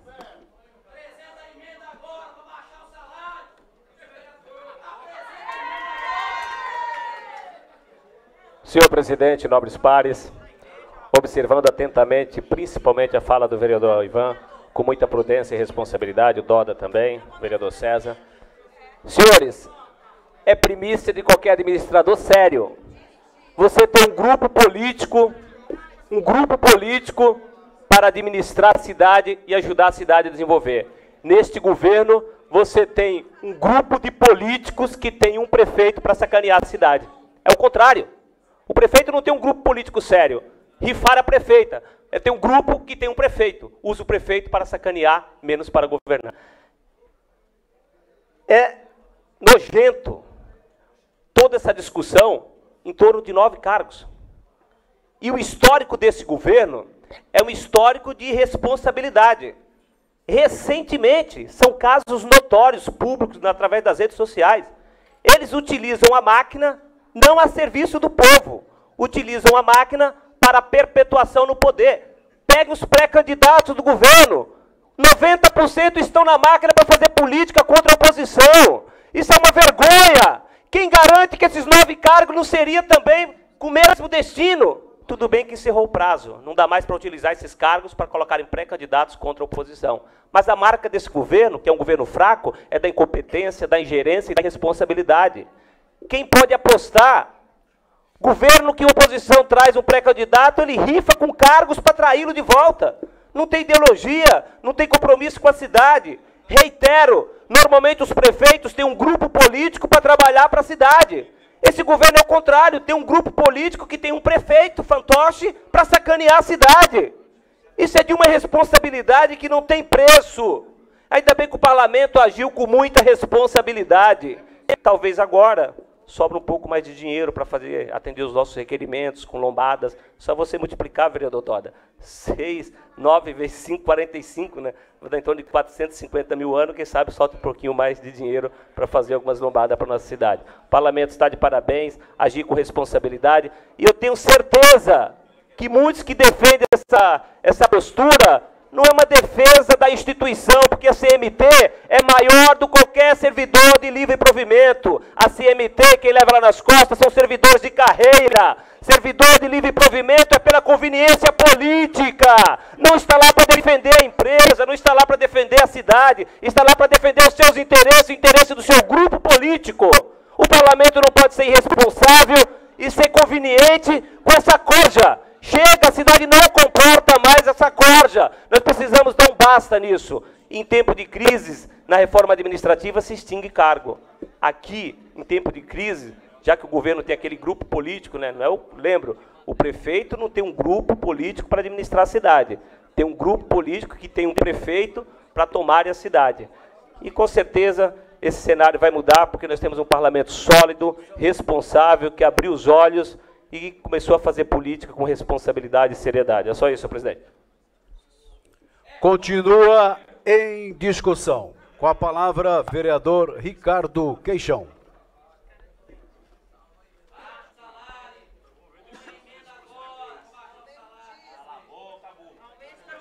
Senhor presidente, nobres pares, quando eu pedi a questão de ordem,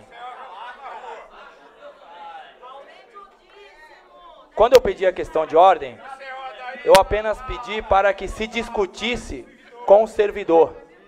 Não foi para polemizar, não falei para aprovar, eu apenas quero discutir com o servidor para que eles passem as ideias que eles têm, para que nós podemos conversar e ver o que, que está bom, o que, que está ruim, o que, que dá para se fazer. Eu apenas pedi para discutir o projeto. São cinco minutos ou dez minutos, que quando voltar, cada um aqui pode aprovar ou rejeitar, mas pelo menos dê uma atenção para eles trouxe o quê? A conversa entre o servidor e o vereador. É apenas isso. Eu não quero nada mais além disso, somente isso. Então eu acho que fica aqui, a título de sugestão, vereador Jair, que Vossa Excelência peça novamente a questão de ordem para que a gente tente discutir, conversar, para ver a que caminho nós chegamos. Se vai aprovar ou não, é outra coisa. Mas pelo menos vamos deixar, vamos ouvir o servidor, apenas para que a gente saiba o que eles querem, e a gente coloque ali para ver o que, que se pode fazer. É só, presidente.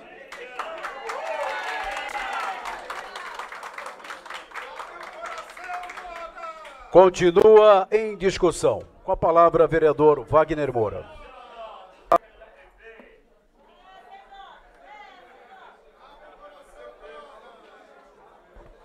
Senhor presidente Nobres Pagues, gostaria de justificar meu atraso, presidente. Eu estava preso na rodovia, de certa forma fez questão de estar presente aqui hoje para discutir e votar esse projeto, para não, inclusive, não fugir da votação.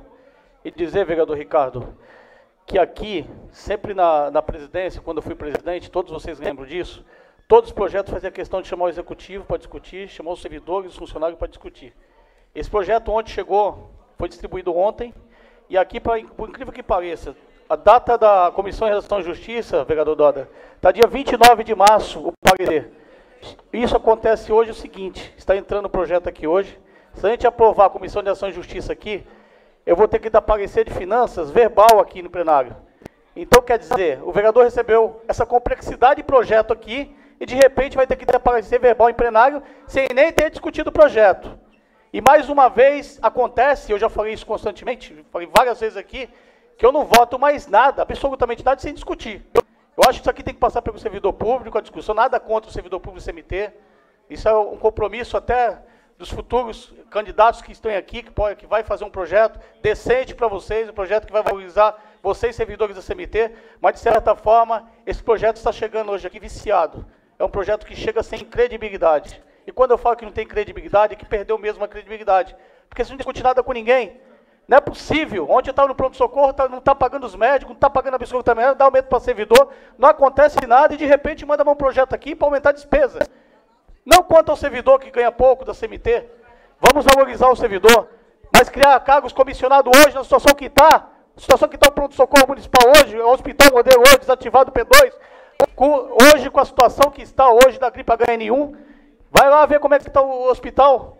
Então temos que se preparar para isso. Temos que é, certa forma, atender a população, atender todos os servidores em geral e ter um compromisso. E toda essa casa tenho certeza absoluta. Vocês, servidores da CMT que estão aqui hoje, temos compromisso de, né, de dar melhor, uma melhor qualidade o plano de carreira de vocês no futuro, que é muito importante.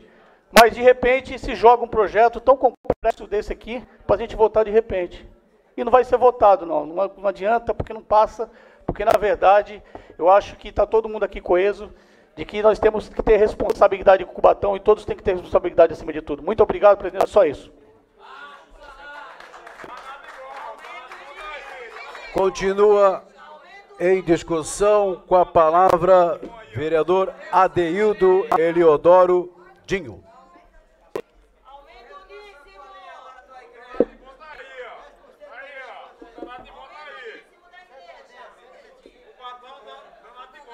Senhor presidente, senhores vereadores, também venho aqui a esta tribuna me posicionar sobre este projeto de lei. Gostaria inicialmente de dizer que quando esse projeto veio para discussão, o ano passado, em algumas oportunidades, eu cheguei a comentar, inclusive com a doutora Renata e com outros servidores. Se existem problemas que foram inclusive apontados pelo Tribunal de Contas, por exemplo, hoje nós não temos a função de cobrador na nossa cidade. Então você tem que regularizar a situação. Agora o que, que aconteceu? A prefeita, em vez de mandar esse projeto regularizando os apontamentos que foram trazidos pelo Tribunal de Contas, ela fez a mesma coisa que fez com o projeto da Guarda Municipal. Quem aqui é contra a Guarda Municipal? Quem? Ela aproveitou a oportunidade daquela discussão e inseriu cargos comissionados. Ela não quer, não está preocupada com questão de guarda municipal. Está preocupada em quantos cargos vai ter a mais para poder estar tá indicando para se manter no poder. Essa é a situação. Hoje aqui nós temos um problema para solucionar. Por que, que ela não mandou? E desculpem, foi avisado sim. Eu mesmo avisei várias vezes. Não passa nenhum projeto que crie cargos comissionados. Qual o nome do cargo que está sendo criado? Assessor especial do superintendente. Pelo amor de Deus. Assessor especial. Não dá, gente. Não dá para você criar o assessor especial do superintendente ir no pronto-socorro e verificar lá as pessoas. Ontem, cinco pessoas sendo atendidas na maca no corredor do pronto-socorro. Não dá para você aceitar o P2 desativado lá para ter essa economia burra da administração, desativado no hospital municipal. Assim como não dá para aceitar, a prefeita no dia 1 de fevereiro, ela contratou aí uma empresa para Estrutura de eventos, 8 milhões e meio de reais. Fora isso, propaganda e publicidade, 2 milhões e meio de reais. E os vereadores vêm aqui falando disso nas sessões, só aí 11 milhões. Quando foi no dia 1 de abril, dia da mentira, houve nova licitação para a estrutura de eventos e saiu publicado no Jornal Tribuna de hoje. Olhem só, Jornal Tribuna de hoje, está a matéria lá dizendo que os médicos podem parar por falta de pagamento. Aí a prefeitura fala, olha, mas o problema é que a arrecadação caiu. Só que na página dos classificados, ela contratou hoje mais de 10 milhões de reais, fora os 11 anteriores, para a estrutura de eventos. Como é que dá para se discutir com um governo desse qualquer situação relacionada aos servidores? É tá brincando.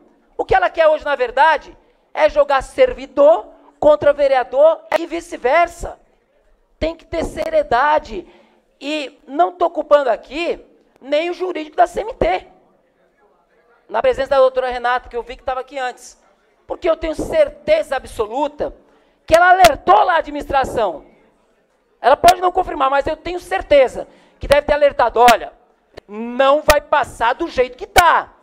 Tira esses cargos comissionados.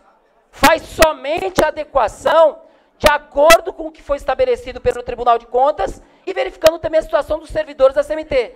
Mas não, não houve. Se não houve, prefeita, a administração, infelizmente, que eu tenho para dizer para vocês, é que a Câmara vai rejeitar e esse governo vai perder as eleições no final do ano. É isso, presidente?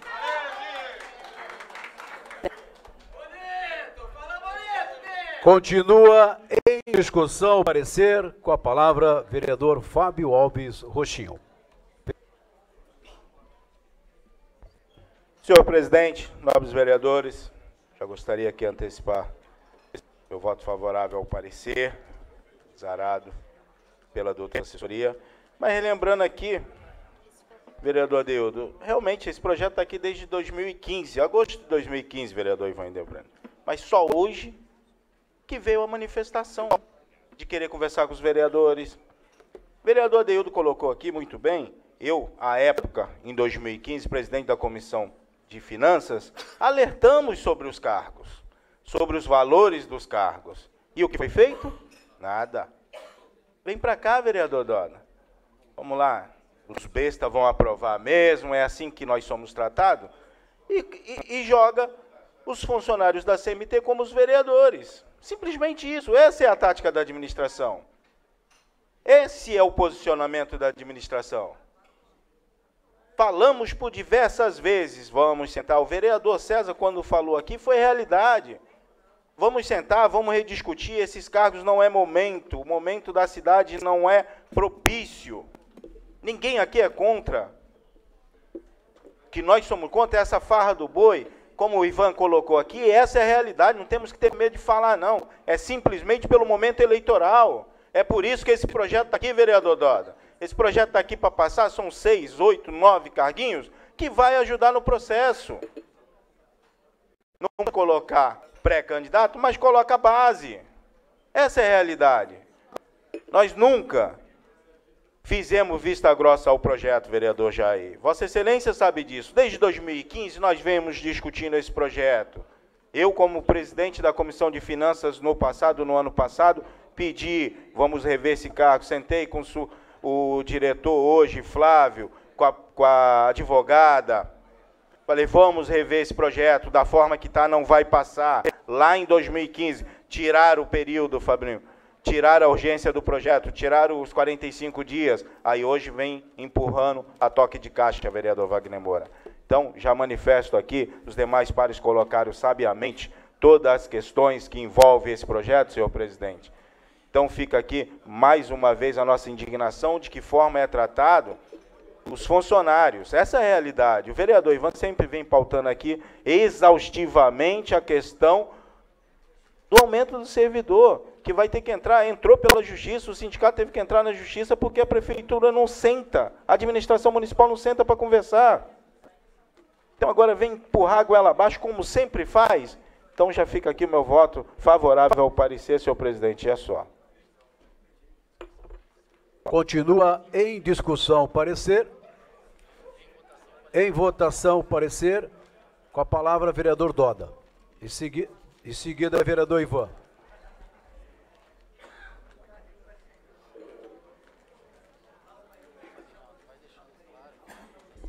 Senhor presidente, senhores vereadores, quero cumprimentar cada um dos vereadores que se manifestaram e de uma forma muito clara, cada um colocou o, o desrespeito deste desgoverno que está aí com esta casa e a forma, novo vereador Jair, como a coisa é tratada.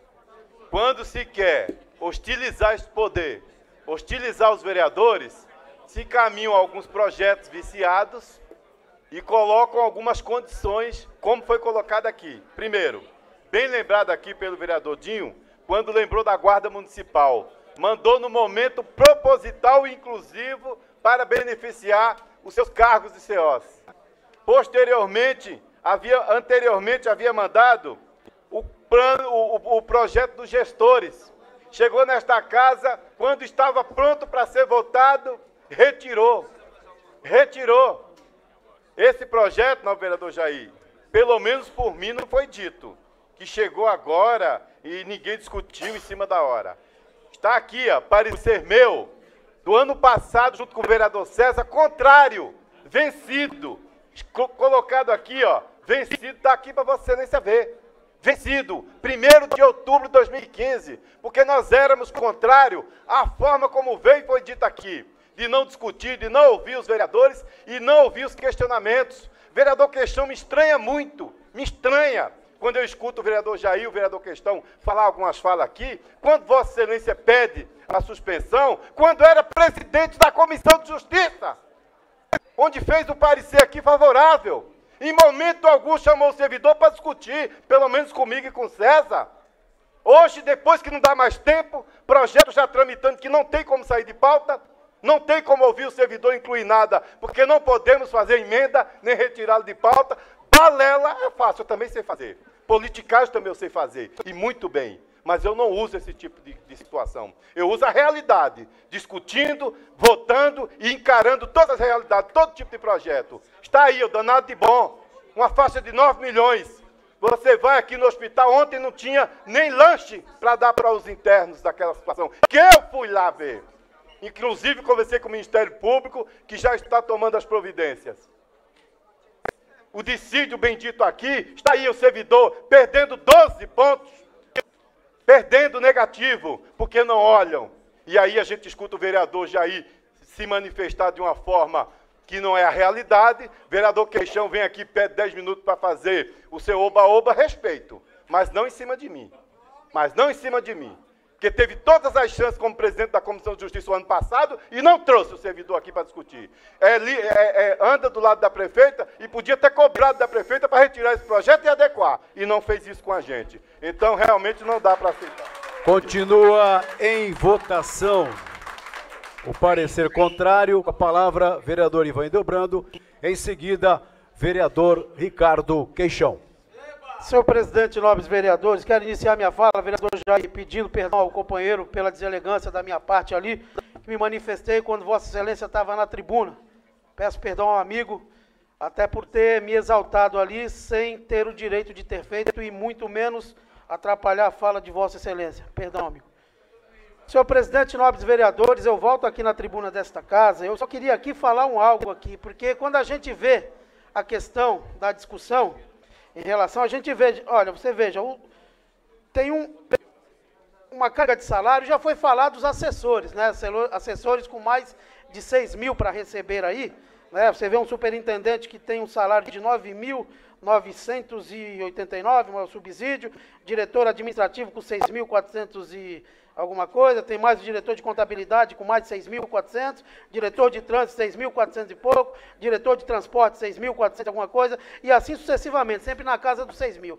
Mas eu não vi, mas eu nem vi, eu não vi ainda, o, eh, o demais vereador, vereador Doda, a questão do próprio superintendente, e, porque como faz parte da superintendência, poderia brigar pelo dissídio dos servidores, né?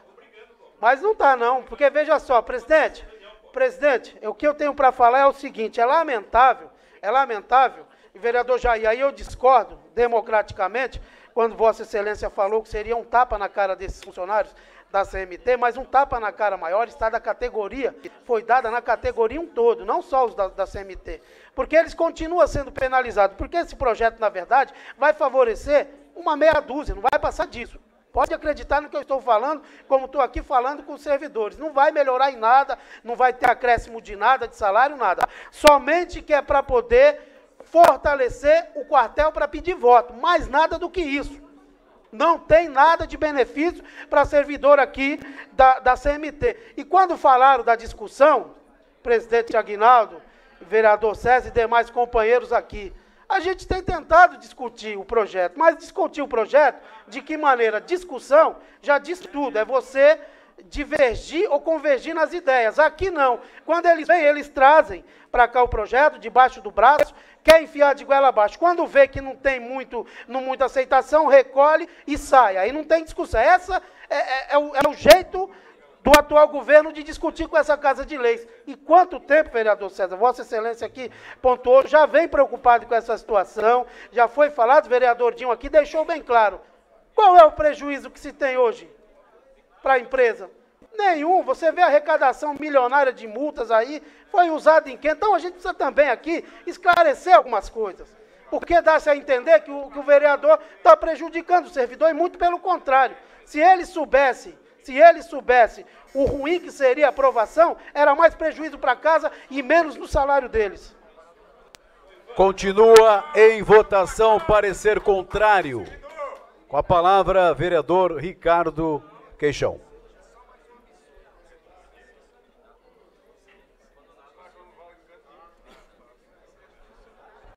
Senhor presidente, nobres pares, quero aqui só para passar para o novo vereador Doda, parece que está meio irritado, meio confuso, meio bravo. Calma, vereador Doda, não você nem se infarta aí, né? Vai com calma, né? É, eu apenas pedi para que se discutisse, vou repetir novamente, não pedi para aprovar ou para rejeitar. Se hoje há oportunidade para pelo menos discutir, vamos discutir, se não dá, paciência. É que nem eu falo, é com calma que a gente chega lá. Mas se eles vieram até aqui, não custa nada pelo menos dar uma audiência para eles, ver o que, que dá para se fazer, o que não dá. Agora, se não quer, paciência. Do jeito que Vossa Excelência fala aí, parece que vai bater em mim. Uma brabeza danada. Pelo amor de Deus. Então, eu só quero passar para vocês, porque falar é fácil. Difícil é mostrar o que eu mostro. Eu tenho trabalho e eu mostro. É só, presidente. Continua em discussão parecer contrário. Em votação parecer contrário. Com a palavra, vereador César Silva Nascimento. Senhor presidente, nobres pares, é difícil, vereador Ivan.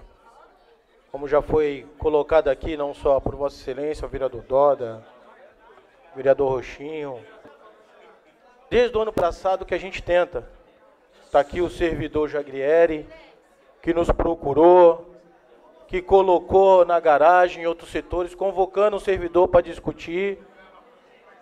Servidores vieram. Tiveram aqui o Jagrieri. Ficou bravo comigo, quase me bateu, porque o servidor veio, que não trabalhava na CMT. Mas ninguém da de veio. O presidente não veio, não veio ninguém. Veio ninguém. Tá lá o Jagrieri que ficou aqui. Porque aí, porque aí mudou. O Flávio sabia. É? Então, assim, entrou em pauta o ano passado. Ano passado, esse mesmo projeto entrou em pauta. Teve aqui o Toledo. Foi a baia a mesma discussão que nós estamos discutindo hoje. Nem falo da advogada Renata, tadinha, porque ela não tem culpa realmente, que ela não tem força para isso. Mas teve aqui.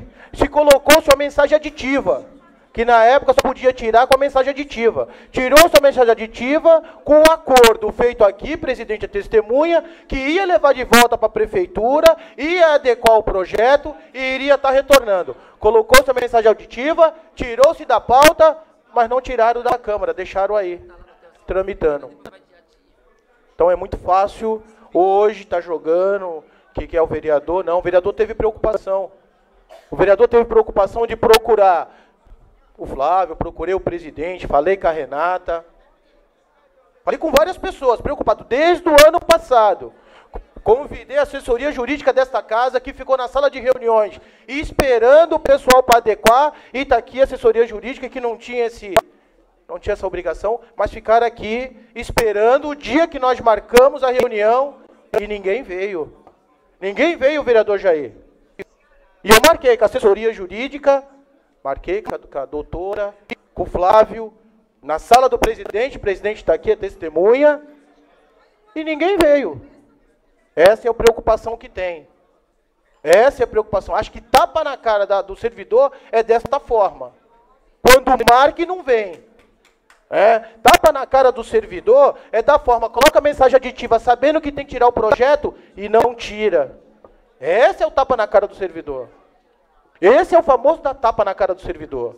Quando engana, da forma que está enganando o servidor hoje. Porque se realmente tivesse a preocupação, tinha colocado a mensagem aditiva e teria adequado o projeto, como foi o combinado em outubro de 2015. outubro de 2015, vereador Jair. Porque quando eu peguei o projeto que eu dei parecer em separado com o vereador Doda, a primeira coisa que eu fiz foi comunicar o presidente e comunicar o, quem era responsável. Continua em votação o parecer contrário. Os vereadores que forem pela aprovação permaneçam como se encontram. Aprovado com dois votos contrários. O presente projeto de lei será arquivado.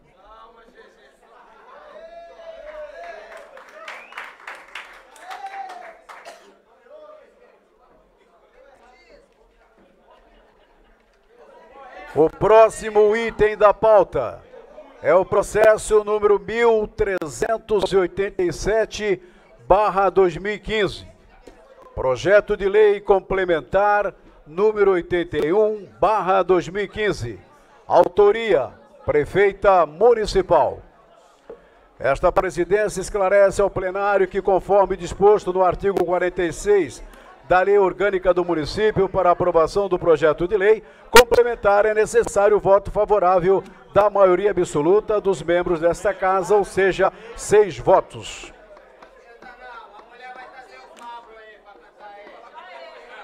Solicito ao senhor primeiro secretário que proceda à leitura do projeto de lei complementar, conforme disposto do artigo 143 do regimento interno, ou seja, somente a emenda para apreciação em segunda discussão. Altera e acrescenta os dispositivos que menciona a Lei Complementar número 2514 de 10 de setembro de 1988, Código de Obras e Edificações e da outras providências. Em discussão, com a palavra, vereador Doda.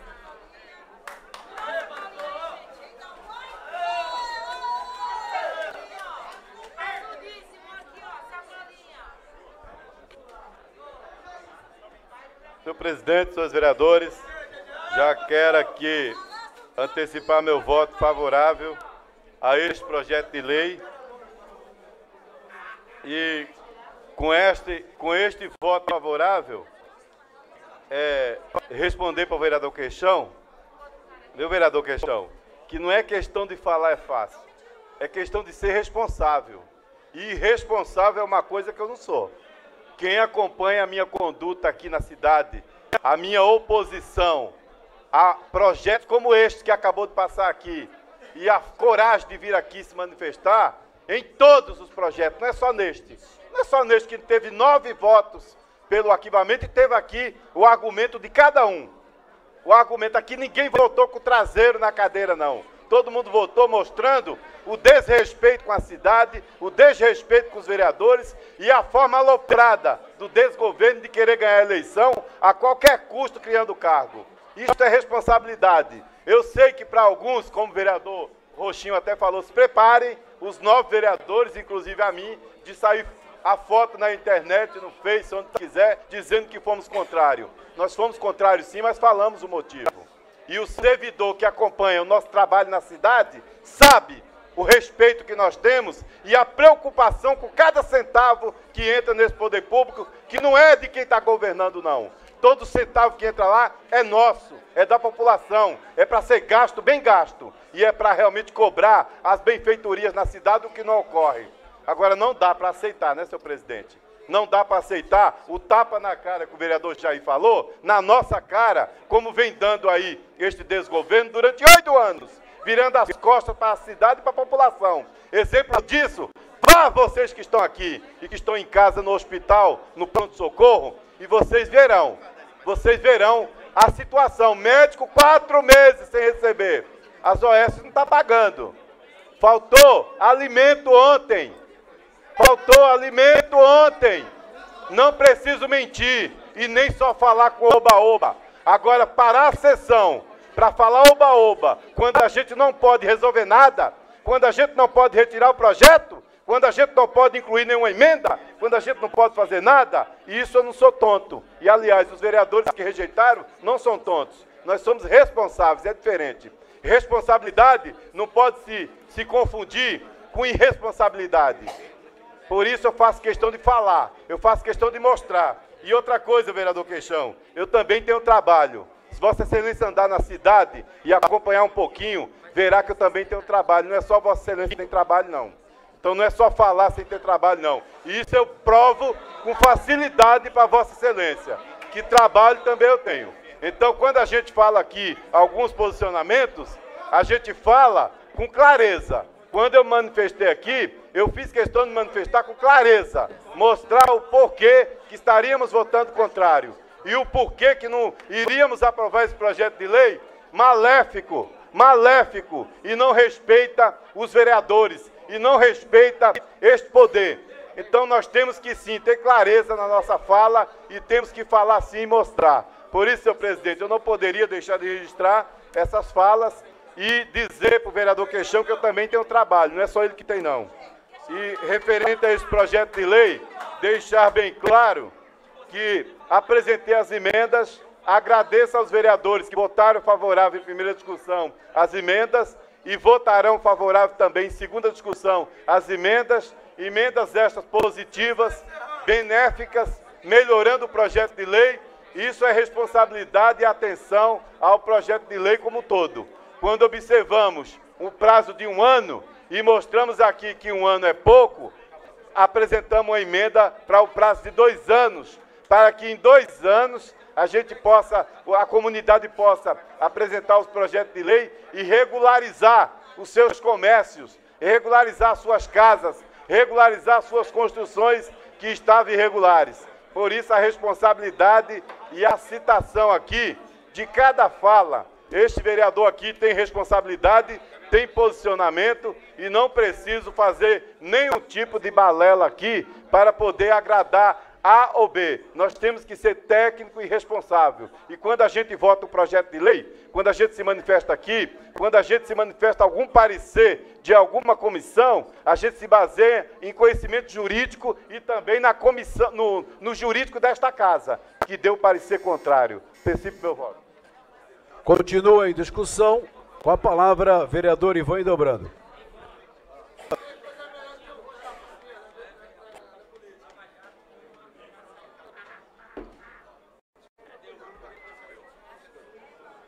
Senhor presidente, nobres vereadores, quero aqui já antecipar o meu voto favorável e dizer que torço para que as emendas apresentadas não sejam vetadas, porque as emendas vieram até para contribuir com o teor do projeto, uma vez que a discussão, quando foi falado em anistia, é uma maneira até de regularizar os imóveis da nossa cidade aí.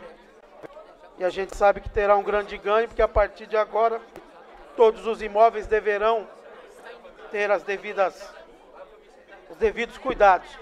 Mas, presidente, eu não poderia aqui usar esses cinco minutos também para estar falando de algumas questões e mais uma vez cobrar o poder executivo. Por isso que a gente tem discutido aqui, vereador Doda, e chega momentos que a discussão acaba se tornando acalorada, porque o que tem se feito contra o servidor público da nossa cidade não dá mais para aguentar, não tem mais como. Eu ali conversando com o vereador Roxinho e ele falando o que, que a gente tem que fazer. Mas, na verdade, até em relação às mazelas acontecidas com a saúde. Ora, e por este motivo, quando a gente vem aqui para discursar com responsabilidade, não com paixões políticas, mas vivenciando, nobre vereador Dota, o a real situação da cidade, não se tem, não, não, não se tem como compactuar com mais nada, que se crie mais nada, como este projeto, ao qual foi arquivado por esta casa, que poderá um dia ser apreciado, mas no ano que vem, porque esse ano sem chance, não se tem condições. Não se tem condições mais de, de, de criar mais nada em relação a cargo de comissão, aumento de nada. Basta ver o tapa na cara, vereador Jair, aí o que está acontecendo em relação às é, questões de, aditamento de contratos aí. que outrora já tudo, na verdade, no fundo do poço, mas aí vão lá e ainda tenta dar uma injeção. Mas essa injeção é injeção é, é da irresponsabilidade da ingerência administrativa. Quando nós viemos aqui para falar sobre os trabalhadores da CMT, e eu tenho aqui falado, e não tenho medo e falo mesmo, vai favorecer meia dúzia, vereador Doda. Porque a briga deveria ser por um coletivo, por aqueles que são da operação, não para quem vive dentro de ar-condicionado, com sala com ar-condicionado. Isso aí já chega, mais assessor para quê? Se fala tanto dessa cidade em crise, todas as desculpas são as crises, é crise financeira, é saúde, é educação, e quantas e quantas são as demandas e as denúncias que nós fizemos ao Poder Judiciário, tivemos que recorrer. Tamanho é o desrespeito com essa cidade, tamanho é o desrespeito com esse legislativo. Porque quando tu pede aqui uma informação, o Poder Executivo não dá, essa, não dá essa, a informação, a devida informação, a correta. Muito pelo contrário, é tudo escondido, é tudo maquiado através de números. Ninguém se manda aqui uma planilha de impacto financeiro. Ninguém se manda aqui nada para justificar o gasto. O negócio é a farra, é a farra do boi. Ainda mais agora nas vésperas da eleição. Olha, eu tenho falado, eu não sou contra a obra, não. Fico feliz antes tarde do que nunca. Mas a gente está vendo a, a, grande manobra, coloca-se aí um caminhão da saúde nos bairros, para quê? Para verificar a pressão. Enquanto isso, tem pessoas morrendo no hospital. Tem pessoas sem ter condição e o direito de fazer um exame, vereador Doda. Mas tá bom a saúde, tem um caminhão da saúde agora. Eu paro no bairro, coloco lá um atendimento, verifico uma pressão, malemar faço um teste de glicemia e tá bom. E que se dane o resto. É isso que esse governo está falando. E o desrespeito maior é com, essa, é com essa festa, danado de bom. Porque se fosse uma prefeita, se fosse secretário que tivesse compromisso com a cidade e preocupado, tinha falado, esse ano não terá porque a cidade precisa, os investimentos precisam ser feitos na saúde, na educação. Eu recebi ali a mensagem, em tempo real, da UMI Mato Grosso, agora já mudou o nome, é UMI Mato Alto, vereador. Porque até cobra está saindo de dentro daquele mato, com crianças de seis anos estudando. E é isso, é para isso, aí cria mais cargo de comissão. E a gente é que tem que tomar aqui, na verdade, a culpa. Claro que vão usar a internet, para dizer, olha, votaram contra o servidor, mas eu quero que exponham os salários e os cargos que seriam criados e os valores. Que aí eu quero ver quem é que tem razão, da mesma maneira que foi a Guarda Municipal. Continua em discussão. Com a palavra, vereador Fábio Alves Roxinho.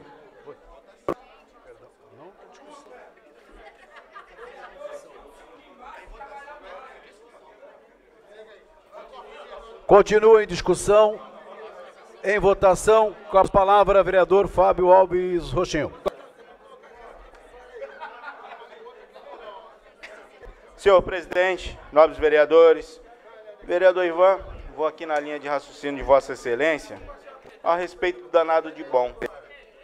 Porque a gente já falava aqui, vereador Doda, anteriormente sobre o projeto da CMT, que é o tamanho do, do da forma que nós somos tratados. Vereador Ivan, Vossa Excelência ter uma ideia, o danado de bom está na lei municipal das festividades, no calendário oficial do município.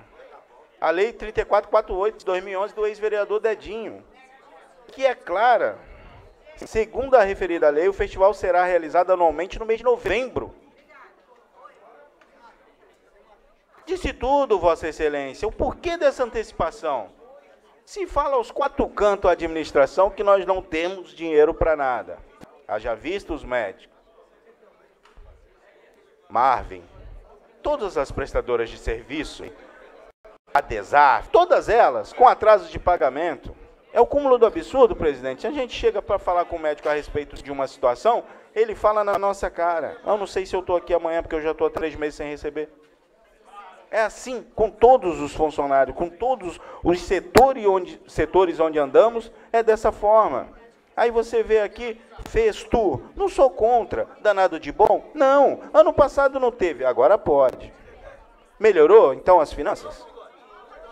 Tá tudo bem, Ivan? Tá tudo redondo? Tranquilo e favorável? Porque não é possível. Fala da lei Rouanet. Eu duvido, vereador Doda, que alguém mostre aqui o processo e a captação do recurso pela lei Rouanet. Eu duvido que me mostre aqui. Se algum secretário, seja de turismo, de comunicação, de cultura, mostre o processo do danado de bom de captação de recurso. Qual a verba? Da onde está vindo esse recurso? Falou que as empresas. A Uzi Minas quebrou. Agora vai dar através da lei Rouanet? Então cadê o processo? A captação disso, senhor presidente, leva anos para conseguir captar. Agora, por danado de bom, Doda, lá de dedo. E antecipa de novembro para um período eleitoral, antecipar simplesmente isso para enganar a população, vereador. Nada mais do que isso. E além de estar tá na lei municipal, no calendário oficial, está no calendário estadual também o danado de bom. Que novembro. É fácil. Antecipar dessa forma, simplesmente barganha eleitoral. É só, senhor presidente. Voto favorável. Continua em votação. A palavra, vereador Ivan Delbrando.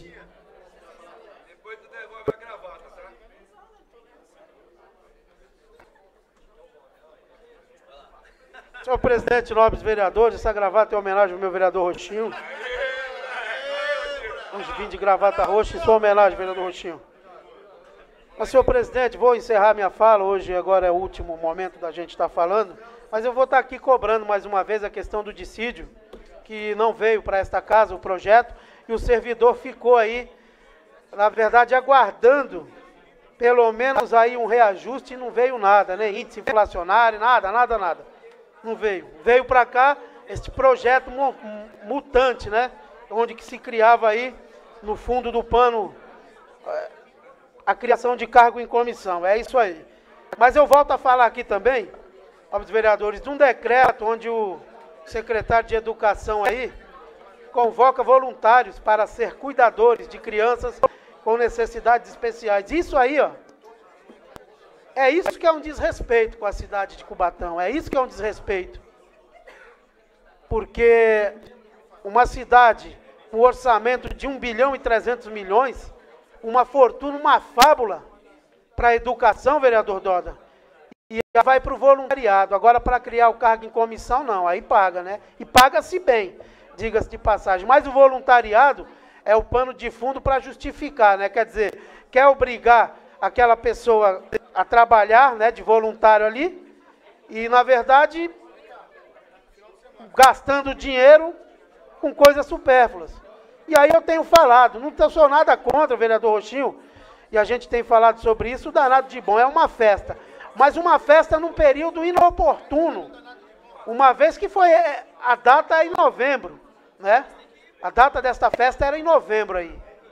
Mas aí o que, que acontece? Eu antecipo por quê? Primeiro para me captar recurso. Aí eu solto o caô que eu quiser. É lei Rouanet, é lei isso, lei aquilo, para poder justificar. E vai aí 11 milhões por saco. Né? E é isso que é a falta de respeito com os munícipes. Porque se você for no hospital, leitos fechados aí, exame sem marcação, sem data prevista. Educação, as salas, as escolas ainda todas abandonadas, vereador, mesmo, e Vossa Excelência, amanhã vamos fazer a diligência. Inclusive, fiz um desafio ao secretário. Se eu estivesse mentindo, eu renunciaria ao meu cargo. Fiz porque sei, porque eu visito as escolas, sei que não está pronta, que está sem condição. Aceitou? Não aceitou porque sabe que está errado. E fiz esse desafio. E agora eu, eu, o meu maior sonho hoje era que nessa festa danada de bom, mas não fosse ninguém para essa festa, mas não fosse ninguém mesmo. Só ficasse os cargos em comissão e quem ganhou as pulseirinhas lá, só esses. Que a população, em sinal de revolta, de protesto, não deveria e não, nem, nem poderia ir nessa festa. Porque a cidade está abandonada, mas para a festa tem dinheiro, para o resto já era. Continua em votação. Com a palavra, vereador Doda.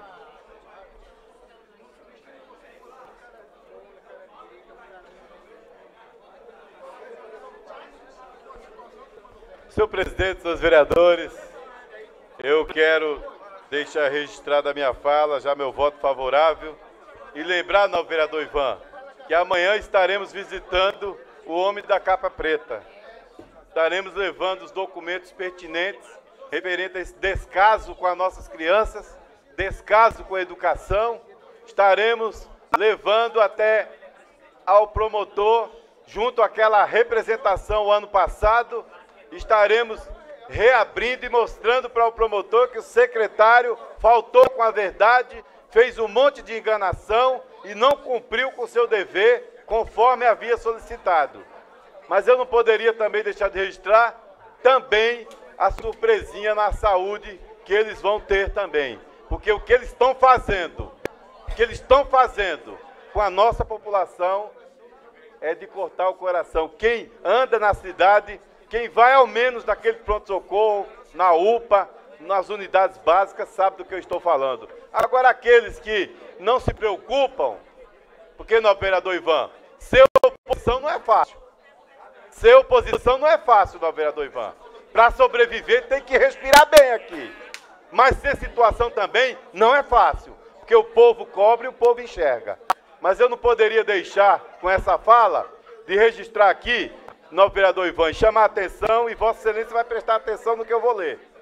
Caixa de Previdência dos Servidores Municipais de Cubatão. Ato de dispensa de licitação, Superintendência da Caixa de Previdência dos Servidores Municipais de Cubatão, ratifica a dispensa de licitação nos termos do inciso 13 do artigo 24 da Lei 86693 para contratação de serviços especializados para planejamento, organização e execução de concurso público. Vergonha! Vergonha! Eu sei que eu tenho menos de um minuto para falar sobre isto. Mas é uma vergonha o que estão fazendo a Caixa de Previdência. Não vão cobrar nada da Caixa de Previdência da municipalidade, mas vão cobrar um valor, acredito que numa faixa de 50 reais, e vão multiplicar isso por um milhão, durante um prazo de 12 meses, o desgoverno está acabando. É uma vergonha. É uma vergonha o que estão fazendo aqui com a Caixa de Previdência. Fico alerta, mas nós vamos atuar nisso aqui, ó, senhor presidente. Estou registrando, porque nós não vamos aceitar o que vimos lá atrás. E não vamos aceitar o que estamos vendo no presente. Falta alguns segundos. Mas isto aqui, não, vereador Ivan, junto com mais esses itens que vão no nome da capa preta, então a gente vai levar à tona toda essa situação, porque realmente estão brincando com a nossa cidade. Continua em votação. Os vereadores que forem pela aprovação permaneçam como se encontram. Aprovado. Está, portanto, aprovado em segunda discussão e redação final o presente projeto de lei complementar. Esgotada a pauta da ordem do dia e nada mais havendo a tratar, declaro encerrada a presente sessão. Muito obrigado, que Deus abençoe a todos. Muito obrigado.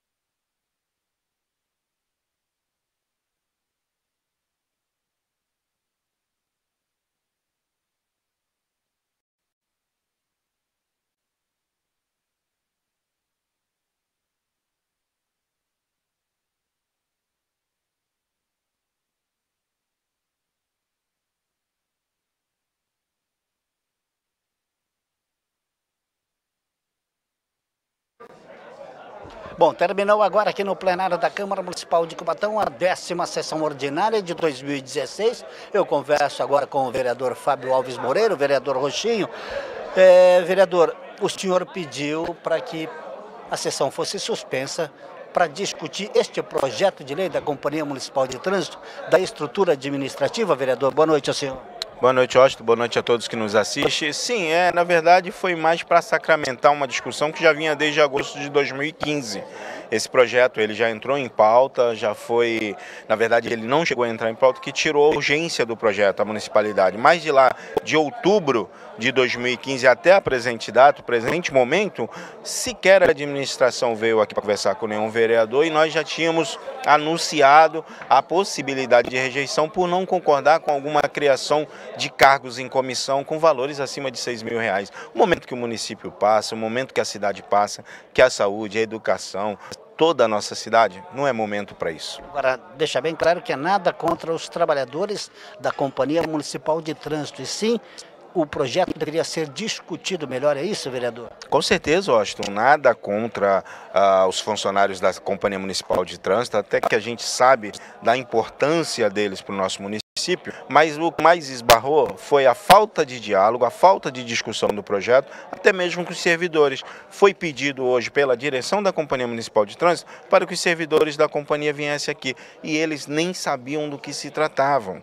E fora ficaram sabendo aqui no plenário da criação de nove cargos, sendo cinco de comissão e quatro função gratificada. Então isso era meramente pelo entendimento dos vereadores, o momento que a cidade passa, o momento eleitoral se aproximando, era simplesmente uma barganha eleitoral que estava sendo usado a Companhia Municipal de Trânsito. Agora, vereador, o senhor, como um parlamentar, como um homem dessa Casa de Leis, explique ao telespectador. Agora o projeto foi arquivado e daqui para frente o que, que vai acontecer? Sim, é o... que, que acontece? Eu, como presidente da Comissão de Justiça e Redação, dei um parecer contrário, seguindo o parecer jurídico. Então, com isso, o projeto foi arquivado. Esse ano ele não pode entrar mais. Ele só pode entrar no ano de 2017. Agora, vereador, o senhor foi homenageado pelo vereador Ivan, que disse que aquela gravata era em homenagem a um senhor. Ivan é um grande amigo, um grande companheiro parlamentar, não fazendo trocadilho de peso, que é realmente um cara que briga por toda a situação da nossa cidade, por todos os bairros. É um amigo, hoje, felizmente, ele estava com a gravata roxa e sempre acontecem essas brincadeiras. Um abraço e até a próxima. Obrigado, acho um abraço a todos. Muito bem, está aí a participação do vereador Fábio Alves Moreira, o vereador Roxinho, conversando conosco aqui no término da décima sessão ordinária de 2016, aqui no plenário da Câmara Municipal de Cubatão. Vocês fiquem agora, continue com a programação da TV Câmara de Cubatão. Um abraço a todos e até o nosso próximo encontro.